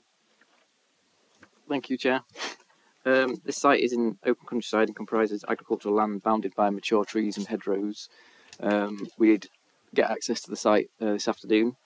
Um, the application proposes the change of use of the site to a glamping site. Um, various structures would be sited within the site, as shown on the plan there, um, which uh, the applicant intends to site on the land between Easter to October, and a track and car park would also be created um, along with ancillary structures. Um, the site is two kilometres uh, south of Hognaston and 1.8 kilometres north of Hulland Ward, um, with poor highway and footpath connections. And officers consider that the site is not in a sustainable location contrary to the provisions of policy EC9 uh, as set out in the report. Um, the comparing the existing and proposed site plans indicates that trees and hedgerows would be removed to facilitate the development. Although the agent has indicated that wouldn't be the case, the plans do show that they would need to be removed to facilitate what's proposed. No tree survey has been submitted, and therefore this is also a technical matter, forming a second reason for refusal for the application. Happy to answer any questions. Councillor Rose. Thank you. Um, well, this is an absolute joke. Uh, you know, deja vu, here we go again. The seventh application. Rabbits, alpacas, what's going to be next? It just appears that any of us, let, let's all of us individually go and, go and buy a small field, apply for a house, because that's what this chap wants to do. The site is an absolute disgrace. We've all been there today. I mean, I, I would like to ask the officers why the caravan, which is covered in graffiti, hasn't been removed. Um, and you know, which he, he keeps on coming back, doesn't he? He doesn't. He doesn't meet us. He doesn't come to a meeting, but he keeps on coming back with an application. I, you know, there's no point in really debating it. I mean, um, I thoroughly agree with the office, officer's recommendation that the site is completely unsustainable and I'm not going to waste my time or yours going through all the reasons for refusal. So hope, hopefully you'll, you'll agree with that. Thank you very much, Councillor Rose. Councillor Donnelly. Yeah, like uh, Councillor Rose, I did uh, visit the site this afternoon and I was dismayed at the state of the caravan, all smashed to pieces and the graffiti was not printable. Very colourful graffiti, I have to say. Very colourful, yeah. There was a few words even I didn't know what they meant. Did you not? No. I'll let you know sometime. Right? Okay. Let me know in the car park when we're finished. Um, I think it's it seems strange that keep coming back time and time again with the same same principle. Which um, question I would, I would like to ask um, Chris was the uh, um, section five, uh, number six, foul sewage issues dealt with by condition. What does he mean by that? Section five, number six.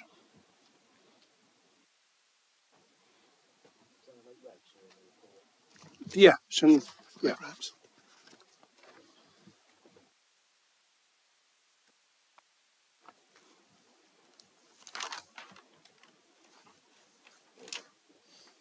That's um, basically a summary of comments that we've received from the agent after the report was published, and uh, he's just saying that any issues with foul sewage can be dealt with by a planning condition, in his view.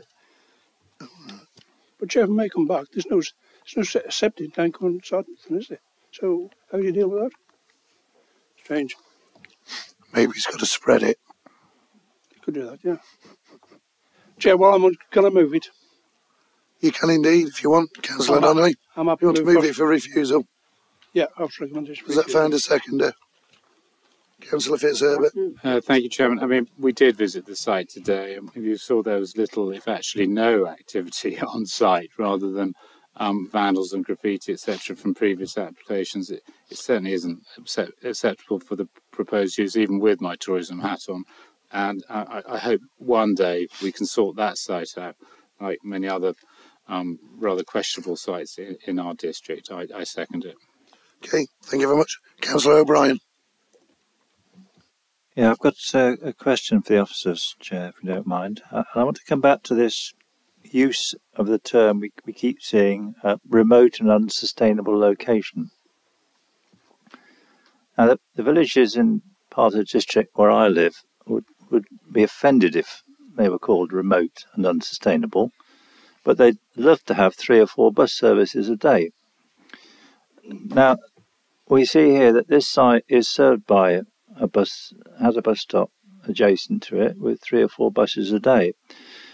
How do we arrive at this this definition of remote and unsustainable? It seems to me if we if we're using that sort of definition, the only place we're ever going to get any new tourist development is alongside the A6. Said that, Peter. Yeah, just just coming. Yeah, just coming back to Councillor O'Brien on that that specific question. So the policy in our plan that deals with this type of development is very specific in that it requires um, facilities of this nature to be within an attractive, whatever that means, ten minute walk of services and facilities. So whilst you might have a bus service that operates infrequently in this area, if you were to holiday on the site, um, as Adam mentioned, you're some distance away from the nearest settlements where you could access basic services and provisions um, to to to um, that you'd perhaps want to use if you were holidaying here. Um, so that that's the level of assessment that's that's made. It's the specific requirement of the the policy um, that deals with this type of development and, and the requirement for it to be an attractive ten minute walk of, of basic services and facilities. So- So if they provided a, a, a shop on site, would that satisfy their requirement? Yes, I mean it, it, it, that that would help in terms of the sustainability. Um, but you've got to think if people are holidaying um, in the area, they might want to visit or might want to go to restaurants. They might want to visit various attractions in the district, and it's very difficult to access those from a site um, that's remote from you know main settlements where you've got more ready access to, to public transport and, and, and services and facilities. Okay. So it's been moved and seconded for refusal as set out in the report. All those in favour, please show. Any against? And any abstention? That was uh, refused unanimously. Item six, Councillor Fitzherbert. Um, if, if members may permit me, before I move the appeals report, um, I'd just like to add a few words as I close my last planning committee and indeed my last um, committee meeting, my 12 years as ward member for the delightful Dovedale and Parwich. Uh, I've enjoyed my three terms, 12 years on council, and although I hit the heady peak of chairing full council for six years, the committee that I've most enjoyed, no, rather loved actually, has been this committee, the Planning Committee. Uh, for those of you who were back there in 2011, we had two committees, both North and South. Times have changed, and very probably for better in just having the one now, although the meetings do have gone on quite a while, haven't they, Chairman? Uh, and we had two separate chairmen then, for those of us, Peter and Sue, who, who remember. Um, over the years, um, I've been delighted with the debates and discussions we've had on the bus and also in the town hall and our various meeting rooms uh, when we fully debated the options and peculiarities about all the various applications. From the wind turbines, when across party. Do you remember that one, Peter? We all wanted those eight at Grange, Grange Cliff, and it was turned down. To single story extensions, to the noise at dog kennels, and to the extensions at, at Endhoven to, to glamping pods and holiday lets. Oh, and HMOs. I had no idea what an HMO was, a term that I'd never heard of before the Matlock application a couple of years ago houses in multiple occupancy. I've sat under three chairs the late Tony Millward, Gary Purdy, and of course Jason here tonight, all of whom have guided us mostly serenely, sometimes amusingly. and there could be other adjectives I could use, but through the myriad of rules that are the planning rules and and there's uh, and as we've sort of half discussed tonight, um, uh, there's no planning rule for people to have a view, is there, ladies and gentlemen? And I thank them all for that.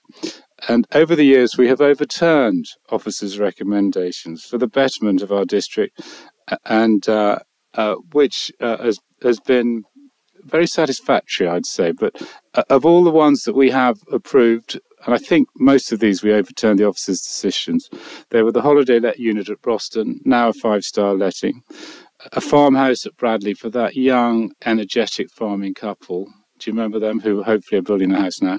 The glamping pods at Marston Montgomery, McMurtry and Hardings, although that's probably for approval at Ashbourne, which is a great success in, in our town, and Russell's Tractor Emporium at Sudbury. Um, uh, which every time I drive past, I know some people aren't particularly happy with it, but uh, it, it's made a huge difference to, to the farming communities. But the one application that I'm, I'm really pleased about uh, that we passed as part of our members' interventions was, was Callow Hall at Mappleton in, in, in my ward, just north of Ashbourne. Now, hopefully, you've all been there. If you haven't, please do and come and see me whenever, and I'll take you round um, because I know it very well now having been recommended for refusal on heritage and landscape and, and heritage tree grounds, we managed to overturn the officer's recommended recommendations on a Zoom, if you remember, Tom, um, uh, a few years ago. And I think, in fact, th- it was um, it wasn't Chris, it was John uh, who was taking that one. I think actually he was pleased with the result, but it unleashed a seven million investment uh, into Derbyshire Dales and created 60 jobs around the hotel and the tree houses on the site. And now this this application that we all approved, uh, nearly unanimously, Chairman, um, uh, has won the Sunday Times Hotel of the Year as well as the Visit Peak District in Derbyshire Best Hotel Award. It's a great, great asset to our district, and, and we should be very proud of that. Whoever follows in our seats next time in the next council term, I trust that the new committee will continue such good work. But also, we as members have got to be indebted to the team in the planning department, and not just to the ones that we see in the bus and in committee, but to the admin team that I, I don't really know their names that collate the thorough reports and type up these myriads of, of, of, of words that we have to plough through every, every time. Thank you very much to them thank you to all of you, um, um, and uh, also to the legal department, Kerry, when she's helped us through, and her colleagues uh, on, on, on, on, dodgy items or particular items, and of course Tommy, Lucy, and Angela, um, who helped us through with the with the committee side of this and organising us. Uh, but but lastly, I'd like to thank all of the officers, and um, you know, so I'll name them: Adam, Gareth, Sarah, Andrew, Joe. Gina, Mark, and of course Chris. Okay, um, I'm sure the next uh, set of members on this committee will, will challenge you and, and ask awkward questions and challenging questions.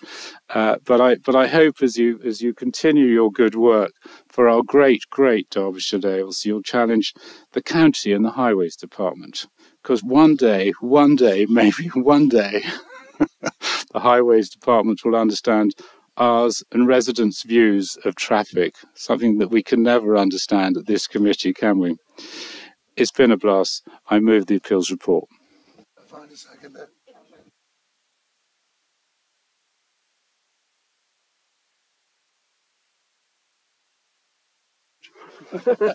well, well done, Richard. Um, can, can I just thank all all of you because I feel I've made many new friends during my one year on the Derbyshire Dales District Council.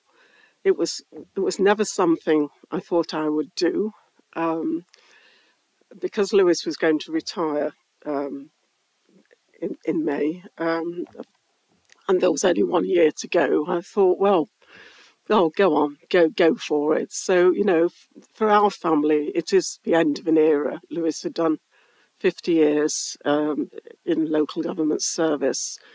Um, the family, started with his grandfather, um, have done 101 years. So, you know, that is something to be applauded, well, I think. So it will, it will, it will end with me unless my children decide to have a go. But I, I do thank you, and I do thank all of your colleagues as well, and all of the other members on, on the council, because I have thoroughly enjoyed it.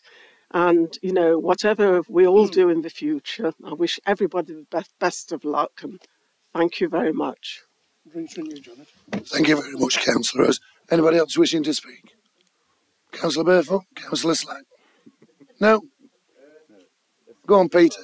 Have a go.